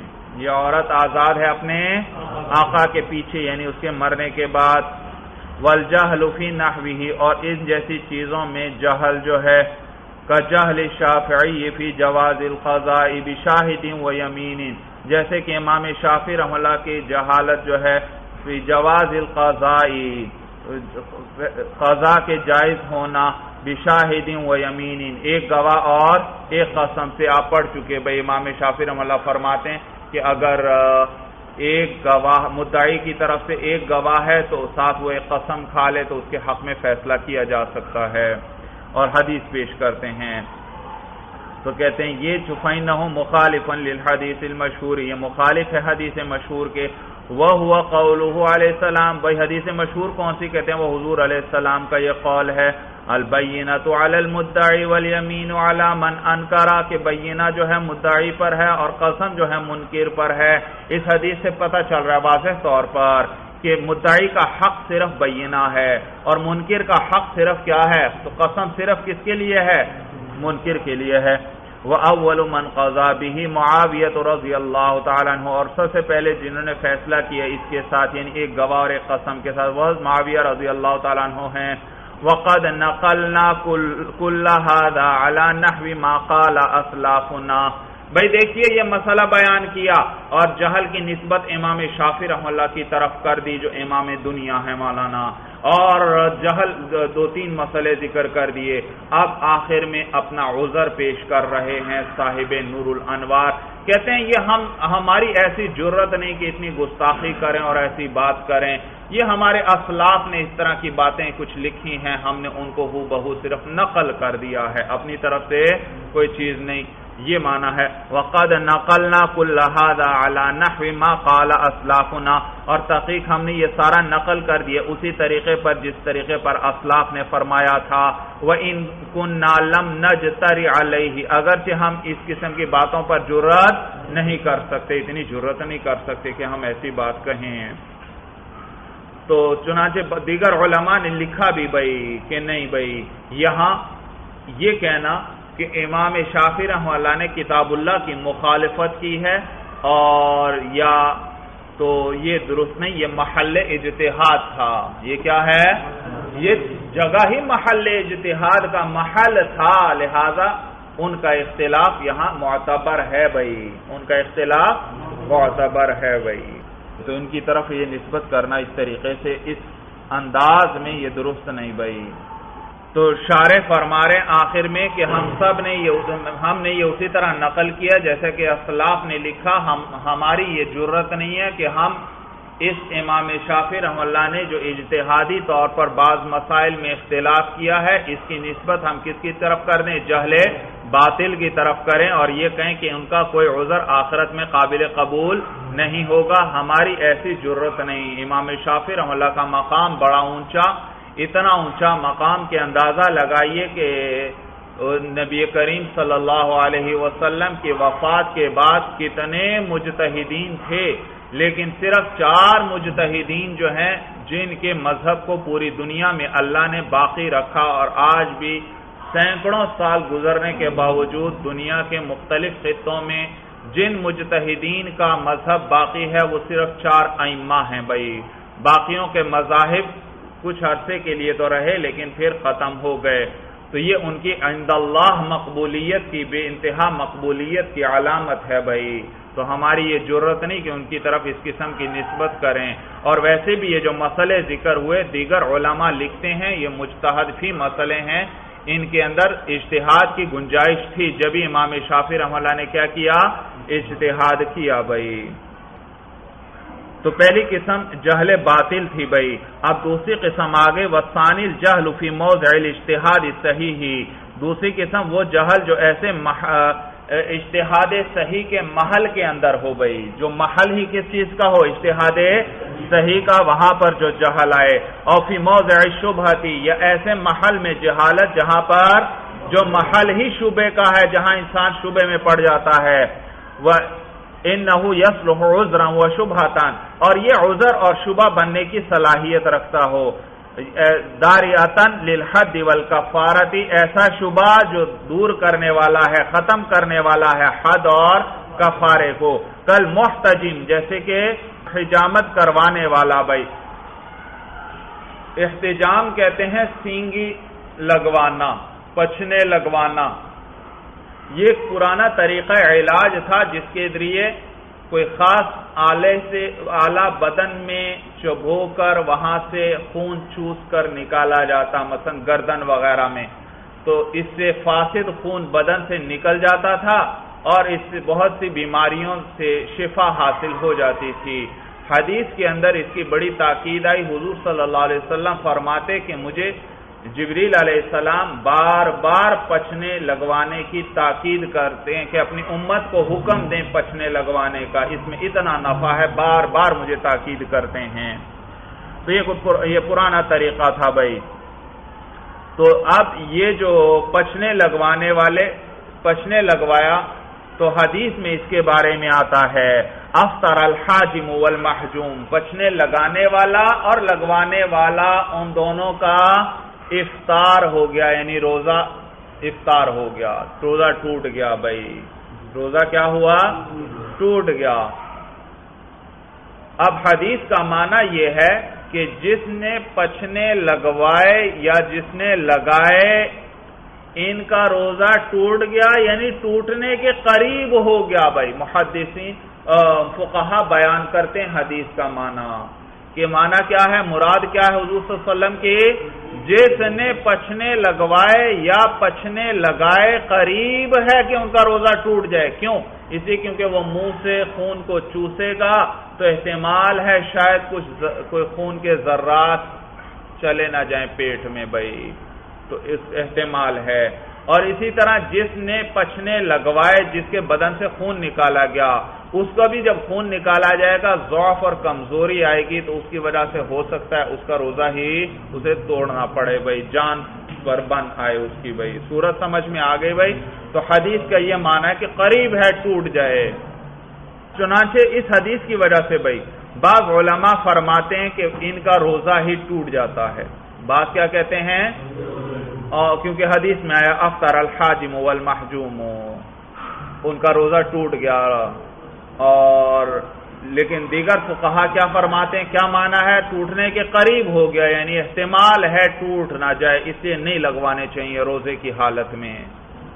تو وہ اس کا یہ معنی بیان کرتے ہیں۔ اب ایک شخص ہے، اس کو یہ فتوا پہنچا تھا بعض کو کہا کا کہ اس سے روزہ ٹوٹ جاتا ہے۔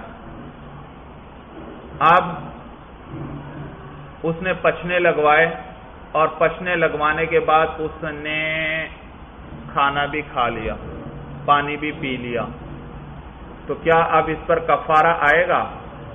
کیونکہ پچھنے لگوانے سے تو روزہ نہیں ٹوٹتا۔ ہم نے مانا حدیث کا بیان کر دیا۔ کیا مانا ہے؟ قریب ہو جاتا ہے، ٹوٹتا نہیں۔ قریب ہے، ٹوٹ جائے، نہ لگوائے، منع کرنا مقصود ہے تو اس کے ذریعے منع کرنا بھائی۔ تو آپ جان بوجھ کر کھایا پیا کیا اس کا روزہ ٹوٹ گیا، کفارہ آئے گا، کہتے ہیں نہیں بھائی۔ یہ جو حدیث، یہ جو حدیث ہے، اس کی وجہ سے شبہ، بظاہر انسان کیا سمجھتا ہے حدیث کو سن کر؟ روزہ ٹوٹ چکا۔ جب ٹوٹ چکا ہے تو پھر اس نے کھا پی لیا، لہٰذا پھر تو کفارہ نہیں آنا چاہیے بھائی۔ سورج سمجھ میں آ گئی تو یہ شبے کا محل تھا، اس لیے یہاں پر اس پر کفارہ نہیں آئے گا۔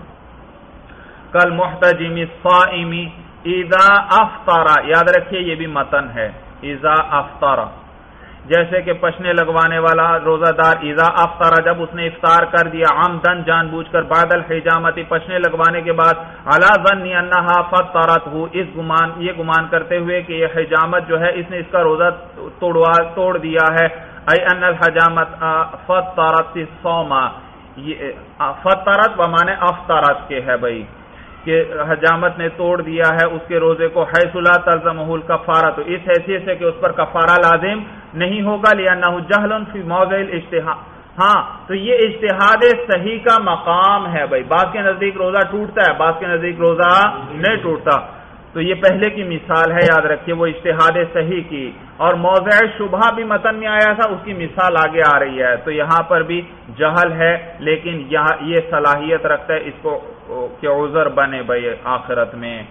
حیث لا تلزمہ الکفارہ تو اس حیثیت سے کہ اس پر کفارہ لازم نہیں ہے، لِأَنَّهُ جَهْلٌ فِي مَوْضِعِ الْاجْتِحَادِ الصَّحِحِ اسی کیونکہ یہ جہالت ایسے محل میں ہے جو اجتہاد صحیح کا محل ہے۔ لِأَنَّ عِنْدَ الْأَوْزَعِي رحمہ اللہ تعالی الحجامت تُفَطِّرُ الصَّوْمَ، کہ حجامت جو ہے یعنی پشنے لگوانا، یہ توڑ دیتا ہے روزے کو۔ لقول علیہ السلام حضور علیہ السلام کی اس قول کی وجہ سے افطر الحاجم والمحجوم۔ کہ روزہ ٹوٹ گیا، حاجم اور محجوم کا یعنی ٹوٹنے کے قریب ہو گیا۔ لیکن قال شیخ الاسلام، لیکن شیخ الاسلام رحم اللہ فرماتے ہیں لولم یستفتی فقیحا اگر اس شخص نے، جس نے پچنے لگوایا اور پھر جان بوجھ کر اس نے کھا پی لیا، اگر اس نے کسی فقی سے فتوا نہیں پوچھا، کسی مفتی سے جا کر فتوا نہیں پوچھا، ولم یب الحدیث، اور اس کو حدیث بھی نہیں پہنچی۔ اور بلغہ وعرف تعویلہ، لیکن یہ حدیث تو پہنچی، لیکن وہ اس کی تعویل کو جانتا ہے۔ کہ ٹوٹنے سے کیا مراد ہے کہ قریب ہے ٹوٹ جائے تو تجب علیہ کفارہ پھر اس پر کفارہ واجب ہے۔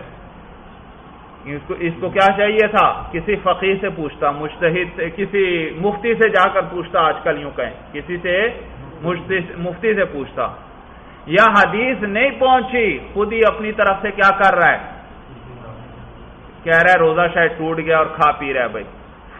اگر تو اس کو حدیث پہنچی ہو، پھر تو عذر بنتا ہے اس کا۔ اگر حدیث ہی نہیں پہنچی اور پھر جان بوجھ کر روزہ اپنا کھا پی رہا ہے تو پھر اس کا عذر قابل قبول نہیں، کفارہ آئے گا۔ یہ حدیث پہنچی اس کو، لیکن حدیث کے ساتھ معنی بھی اس کو پتہ لگ گیا کہ فقہا کیا کہتے ہیں، اس کا کیا معنی ہے؟ ٹوٹے گا نہیں، بلکہ ٹوٹنے کے قریب ہو گیا، امکان ہے ٹوٹ جا جائے، کہیں اس لیے نہ لگوائے۔ تو پھر بھی یہ کھا پی رہا ہے، تو اس پر بھی کیا آئے گا؟ کفارہ۔ یہ معنی ہے اس پر کفارہ واجب ہوگا۔ مانا سمجھ میں آیا بھائی؟ یہ مانا ہے ولا کن قال شیخ الاسلام لیکن شیخ الاسلام فرماتے ہیں، لو لم یستفتی فقیحن اگر اس نے پوچھا نہیں کسی فقی سے، ولم یبلغ الحدیث اور یہ اس کو حدیث نہیں پہنچی، او بلغہ وعرف تعویلہ لیکن حدیث پہنچی اور یہ اس کی تعویل بھی جانتا ہے۔ تو تجب علیہ الکفارہ تو اس پر کفارہ واجب ہے۔ حصل فی غیر موضع ہی اس لیے کیونکہ اس کا گمان اپنے محل میں نہیں ہے۔ کیونکہ اس کا گمان اپنے ہاں یہ گمان کر رہا ہے بھائی، کسی مفتی سے پوچھتا یا حدیث کے بارے میں تحقیق کرتا اس کے معنی جانتے تو پھر اس کے بعد تو عذر بن سکتا تھا، ویسے عذر نہیں۔ چنانچہ آگے بتلا رہے ہیں کہ اگر کسی فقیر سے فتوا پوچھا اور اس نے بتایا کہ روزہ ٹوٹ گیا اور فتوا پوچھنے کے بعد اس پر اعتماد کرتے ہوئے وہ افطار کر لیتا ہے، تو اس صورت میں اس پر کفارہ نہیں آئے گا۔ وَأَمَّا إِذَا اسْتَفْتَى فَقِيهًا يَعْتَمِدُ عَلَى فَتْوَاهُ فَأَفْتَاهُ بِالْفَسَادِ فَأَفْتَرَ بَعْدَهُ عَمْدًا لَا تَجِبُ الْكَفَارَ اور باقی جب اس نے فتوا پوچھا کسی فقیح سے اعتماد کرتے ہوئے اس کے فتوا پر، فَأَفْتَاهُ بِالْفَسَادِ، پس اس فقیح نے اس کو فتوا دیا روزے کے فاسد ہونے کا، فَأَفْتَرَ بَعْدَهُ عَمْدًا، پھر اس نے افطار کیا، اس کے بعد جان بوجھ کر، تو اللہ تجب الکفارہ تو اب اس پر کفارہ واجب نہیں۔ وَكَمَنْ زَنَا بِجَارِيَتِ وَالِدِهِ عَلَى ظَنِّ أَنَّهَا تَحِلُّ لَهُ اور جیسے جس شخص نے زنا کیا اپنے والد کی باندی سے یہ گمان کرتے ہوئے کہ یہ باندی اس کے لیے حلال ہے۔ یہ دوسرے کی مثال آ گئی بھائی۔ پہلے مثال تھا حجامت والے کی۔ وہ اجتہاد صحیح کا محل تھا۔ وہاں پر بعض فقہا نے کیا کیا ہے؟ اختلاف کیا ہے۔ اور یہ جو ہے یہ مثال دوسرے کی ہے جہاں پر شبہ آتا ہے۔ ایک شخص کیا کر لیتا ہے؟ اپنے والد کی باندی سے زنا کر لیتا ہے اور یہ گمان کرتا ہے کہ شاید یہ باندی میرے لیے حلال ہے۔ تو یہ تو محل ہی شبے کا ہے، کیونکہ باپ اور بیٹے کا مال، باپ اور بیٹا دونوں ایک دوسرے کا مال استعمال کرتے ہیں، تو اس وجہ سے اس کو کیا آ گیا؟ شبہ آ گیا بھائی۔ تو لہذا یہ عذر مقبول ہے آخرت میں بھائی۔ فَإِنَّ الْحَدَّ لَا يَلْزَمُهُ، اس پر حد لازم نہیں ہے، لِأَنَّهُ ظَنٌ فِي مَوْضِعِ شُبْحَةِ اسی کیونکہ یہ گمان ہے شبے کے محل میں۔ اذ الاملاک بین الآباء والابناء متصلت اسی کیونکہ ملکیت مال جو ہیں، جو مملوکہ مال ہیں، وہ باپ اور بیٹوں کے درمیان متصل ہوتے ہیں، ایک دوسرے کا مال استعمال کرتے ہیں۔ فتصیر شبہتن پس تو یہ شبہ ہو گیا انتفع احدہما بمال الاخری کہ نفع اٹھائے ان دونوں میں سے ایک دوسرے کے مال سے۔ وَأَمَّا إِذَا ظَنَّ أَنَّهَا لَمْ تَحِلَّ لَهُ، باقی اگر اس نے یہ گمان کیا کہ یہ باندی اس کے لیے حلال نہیں ہے، اس کو پتا تھا میرے لیے حلال نہیں، پھر اس کے ساتھ زنا کیا، فَإِنَّهُ يَجِبُ الْحَدُّ حِينَ حِينَئِذٍ۔ تو اس وقت اس پر حد واجب ہوگی۔ بخلاف جاریتی ولدی بخلاف اپنے بیٹے کی، اپنے اولاد کی باندی کے۔ بھائی اپنے بیٹے کی باندی سے باپ نے صحبت کر لی۔ یاد رکھیے رکھیے اس صورت میں۔ صحبت سے کچھ لمحے پہلے یہ باندی باپ کی ہی ہو گئی۔ اس کا مالک کون بن گیا؟ اس کا باپ بن گیا۔ اور جب اب وہ صحبت کر رہا ہے تو اپنی باندی سے صحبت کر رہا ہے لہذا وہاں کسی بھی درجے میں حد نہیں۔ بخلاف جاریتی ولدی بخلاف اپنی اولاد کی باندی کے فین نہا تحل بکل حال۔ بس وہ اس کے لیے حلال ہے، ہر حال میں سواؤن انہا تحل له اولا برابر ہے چاہے اس کا یہ گمان ہو کہ یہ باندی اس کے لیے حلال ہے یا حلال نہیں۔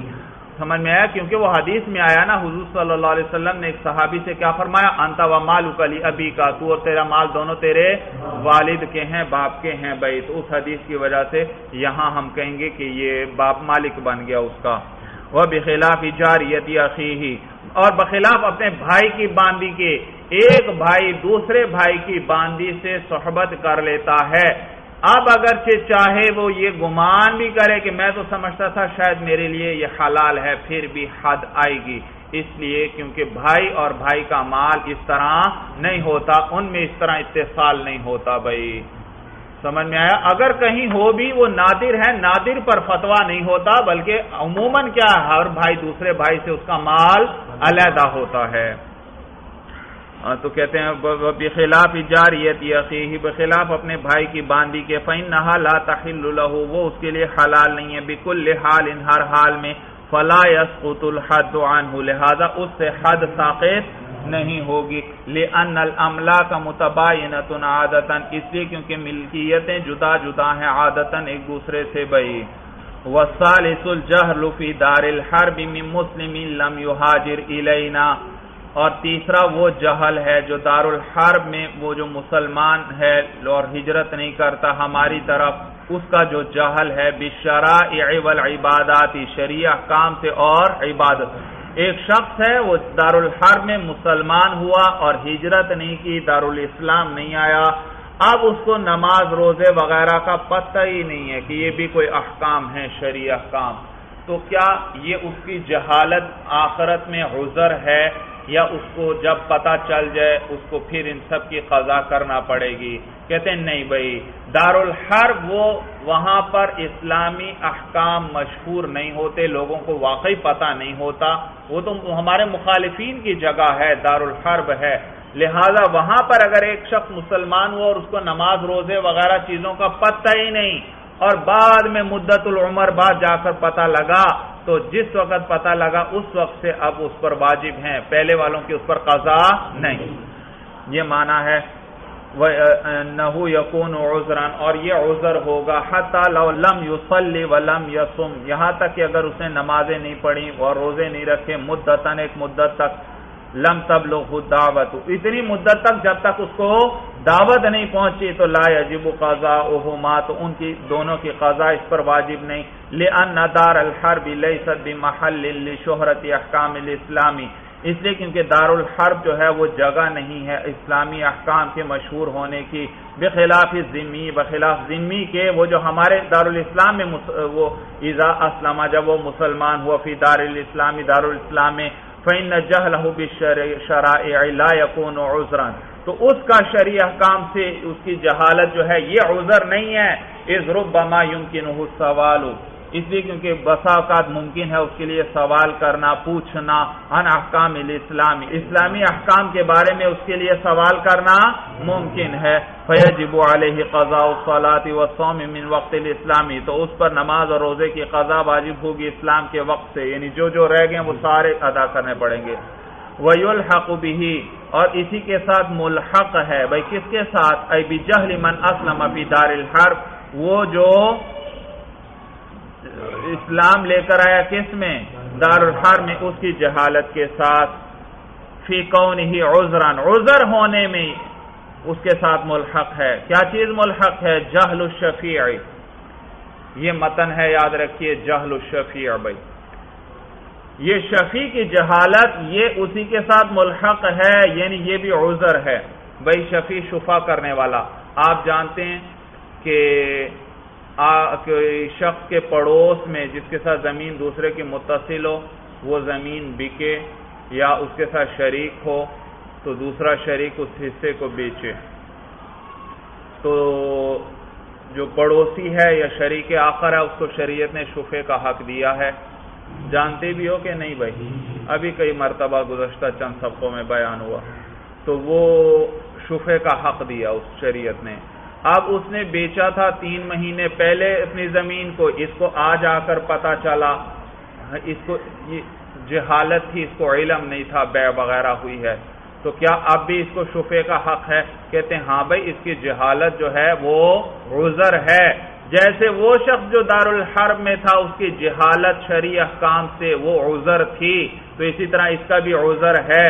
کیونکہ وہ جو ساتھ بیچنے والا ہے زمین، یا جو شریک بیچنے والا ہے، وہ اپنا حصہ بیچ رہا ہے، اس کے ساتھ دخل ہی نہیں ہے، وہ اس کو تھوڑی بتلائے گا آ کر کے میں بیچنے لگا ہوں۔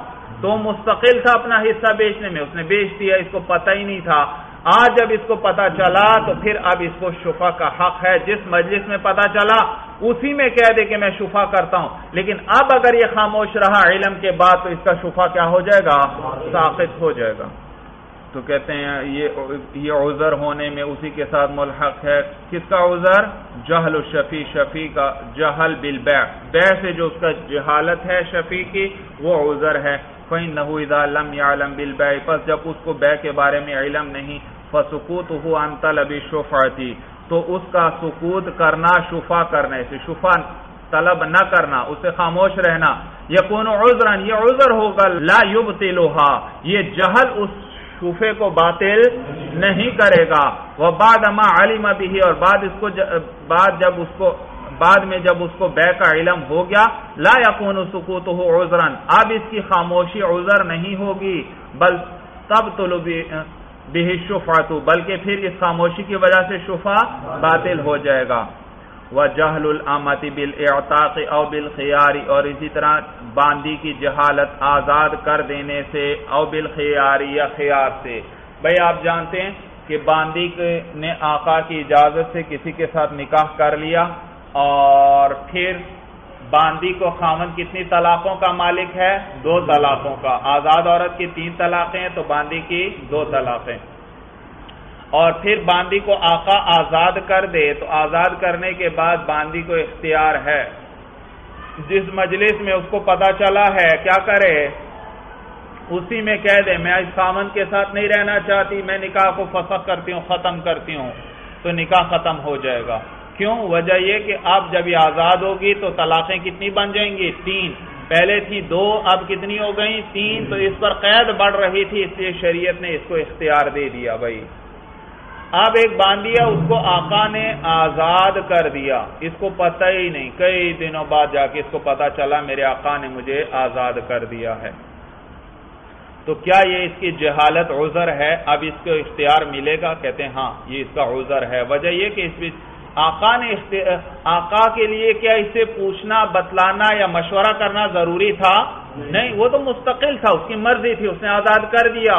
اور یہ بیچاری مشغول تھی، خدمت وغیرہ میں اس کو پتہ نہیں چلا۔ تو عذر ہے۔ اور دوسرا، اس کو پتہ بھی چل گیا کہ مجھے آقا نے آزاد کر دیا لیکن اس کو یہ نہیں پتا تھا کہ مجھے آزادی کے بعد اختیار ملنا تھا۔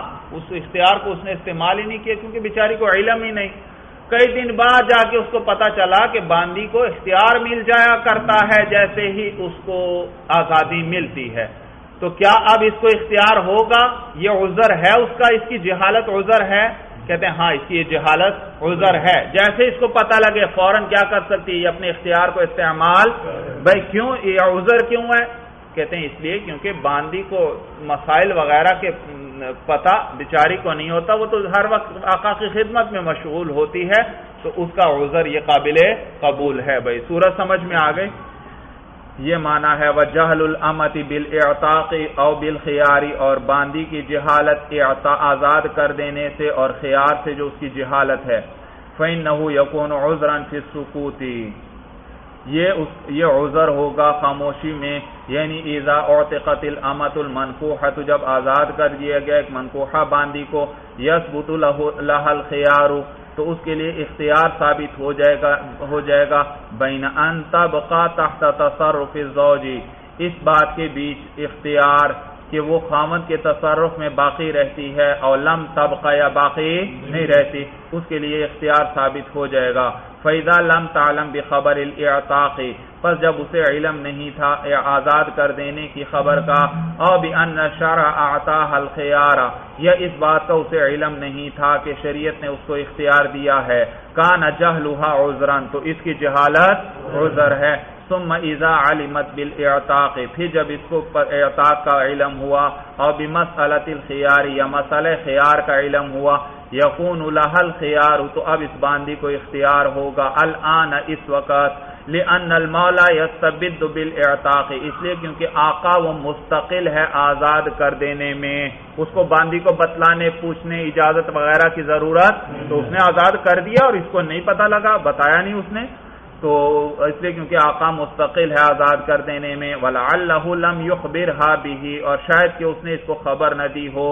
ولی انہا مشغول بخدمتی ہی اور اس لیے کیونکہ باندی تو آقا کی خدمت میں مشغول ہوتی ہے۔ فلا تتفرغ لمعرفت احکام شرعی پس وہ فارغ نہیں ہوتی شرعی احکام کے جاننے کی طرف۔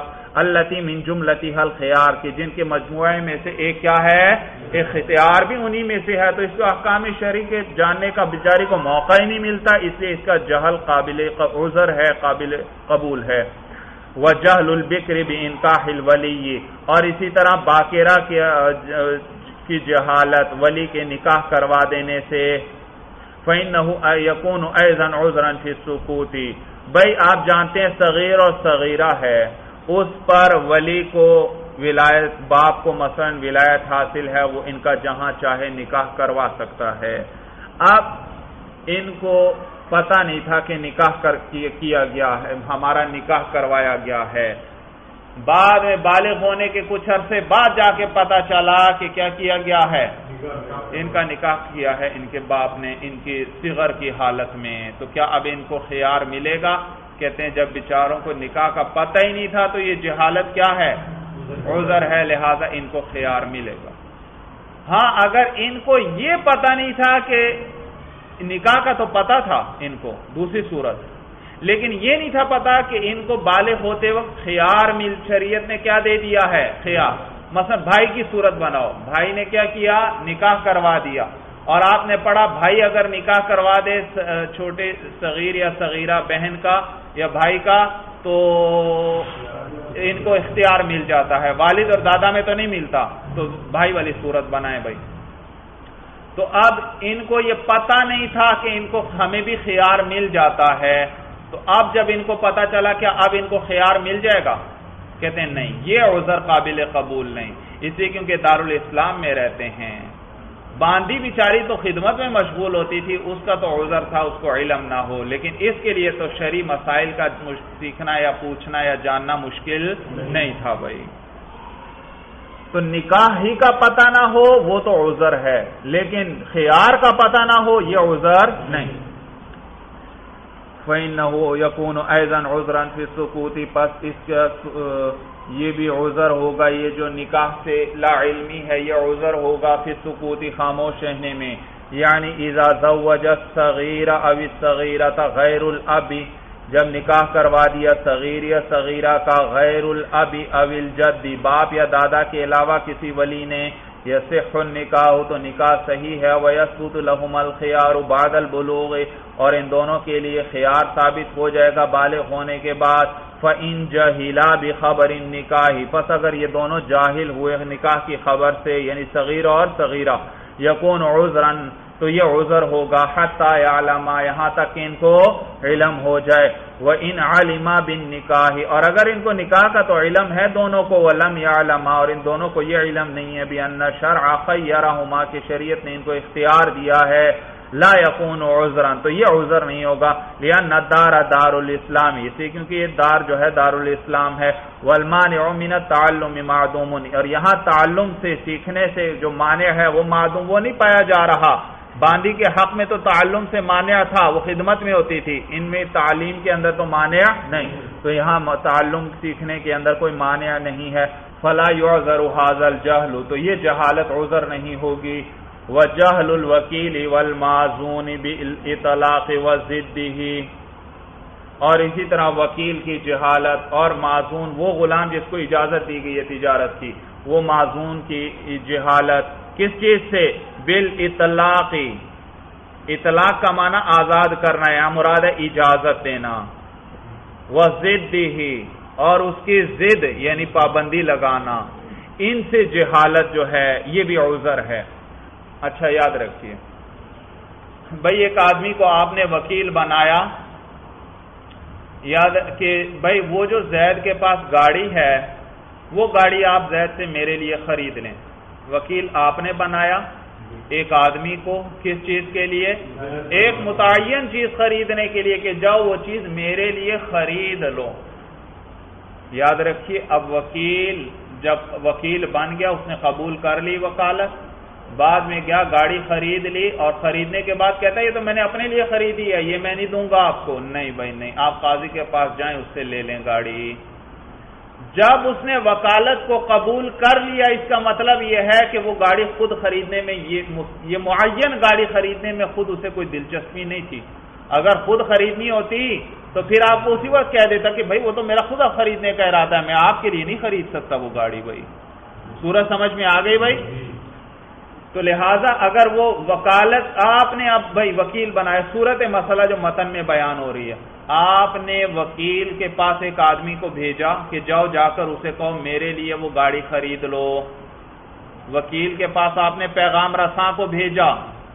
وکیل ابھی بنایا نہیں، کیا پیغام بھیجا؟ کہ تم وکیل بنو میری طرف سے اور میرے لیے وہ گاڑی خرید لینا۔ ابھی اس کو یہ خبر ملی نہیں، آپ نے پیغام دینے والے کو بھیج دیا۔ اس نے ایک آدھ دن بات میں دیر کر دی۔ اس دوران وکیل نے وہ خود گاڑی خرید لی۔ تو اب یہ گاڑی آپ کی شمار ہوگی یا وکیل کی؟ کہتے ہیں یہ عذر قابل قبول ہے۔ لہذا اب یہ گاڑی خریدے تو وکیل ہی کی ہوگی۔ آپ اسے زبردستی نہیں لے۔ یہ جہالت۔ سورج سمجھ میں آ گئی بھائی۔ یا اسی کا عکس کر لیں۔ آپ نے اسے کہا تھا گاڑی خریدو۔ آپ نے آدمی بھیجا کہ بھائی جا کر کہو کہ گاڑی نہ خریدے میرے لیے۔ اس پیغام پہنچانے والے نے دیر کر دی۔ اس دوران وہ آپ کے لیے گاڑی اس نے خرید لی۔ تو اب آپ تو آدمی بھیج چکے تھے، تو کیا اب یہ گاڑی آپ کی شمار ہوگی؟ وہ قاضی کے پاس جا کر زبردستی آپ کے سر ڈال سکتا ہے؟ جی۔ آپ کے سر وہ ڈال سکتا ہے، کیونکہ اس بیچارے کو تو پتا نہیں تھا، اس نے تو کس نیت سے خریدی ہے؟ آپ کے لیے خریدی ہے، لہذا یہ جہالت بھی عذر ہے۔ ابھی اس کو جب تک وکالت سے معذول کر دینے کی خبر نہیں پہنچی، اس وقت تک اگر وہ خرید لیتا ہے تو اس کا عذر ہے، وہ چیز کس کس طرف سے شمار ہوگی؟ موکل ہی کی طرف سے شمار ہوگی۔ صورت سمجھ میں آ گئی؟ اسی طرح عبد معذون ہے، عبد معذون، اس کو آقا نے اجازت دے دی تجارت کی یا اس پر اجازت پہلے سے دی ہوئی تھی اس پر پابندی لگا دی۔ تو اس دوران جو اسے پیغام ابھی اجازت ملنے یا اجازت ختم کرنے کے پیغام جب تک نہیں ملا اس غلام کا بھی اس کی بھی جہالت کیا ہے؟ عذر۔ ہے بھائی۔ سورج سمجھ میں آ گئی بھائی؟ کہتے ہیں، وجہل الوکیل والمازونی بلی طلاق وزدی وکیل اور معذون غلام جو ہے، ان کی اجازت اور اس کی ضد جو ہے، یہ بھی اسی طرح ہے۔ فعین الوکیل والمازون بس بے شک وکیل اور معذون اذا لم يعلما بالاطلاق جب ان دونوں کو علم نہیں ہوا اطلاق کا، اطلاق ای بالوکالت والاذن یعنی وکالت اور اجازت کا۔ وضدہ اور اس کی ضد کا ای بالحزل والحجری یعنی معذول کر دینے کا اور پابندی کا۔ فتصرف قبل بلوغ الخبر الیہما پس ان دونوں نے تصرف کیا۔ ان دونوں تک اس خبر کے پہنچنے سے پہلے ہی۔ فہاد الجہل منہما یکون عذرا، تو یہ جو جہالت ہے، ان دونوں کی طرف سے یہ عذر ہوگی۔ فلم ينفذ تصرفهما على الموکل والمولا فی الصورت الاولى تو ان دونوں کا جو تصرف ہے وہ موکل اور آقا پر نافذ نہیں ہوگا پہلی صورت میں۔ آقا پر نافذ نہیں ہوگا کیونکہ ابھی اس کی طرف سے وکیل بنائی نہیں وہ۔ اس نے بنایا ابھی اس کو خبر ہی نہیں پہنچی۔ یا غلام نے جو تصرف کیا یہ آقا کی طرف سے نہیں، کیونکہ ابھی آقا کی طرف سے اس کو اجازت ہی نہیں پہنچی بھائی۔ لِأَنَّهُمَا لَمْ يَعْلَمَا بِأَمْرِهِمَا اسے کیونکہ ان دونوں کو علم نہیں ہے، ان کے حکم کے بارے میں، وَيَنْفُذُ تَصَرُّفُهُمَا عَلَيْهِمَا فِي الصُّورَةِ الثَّانِيَةِ، اور ان دونوں کا تصرف نافذ ہو جائے گا ان دونوں پر یعنی آقا اور موکل پر پھر صورت ثانیہ اس میں، دوسری صورت میں، جب اس نے معذول کر دیا۔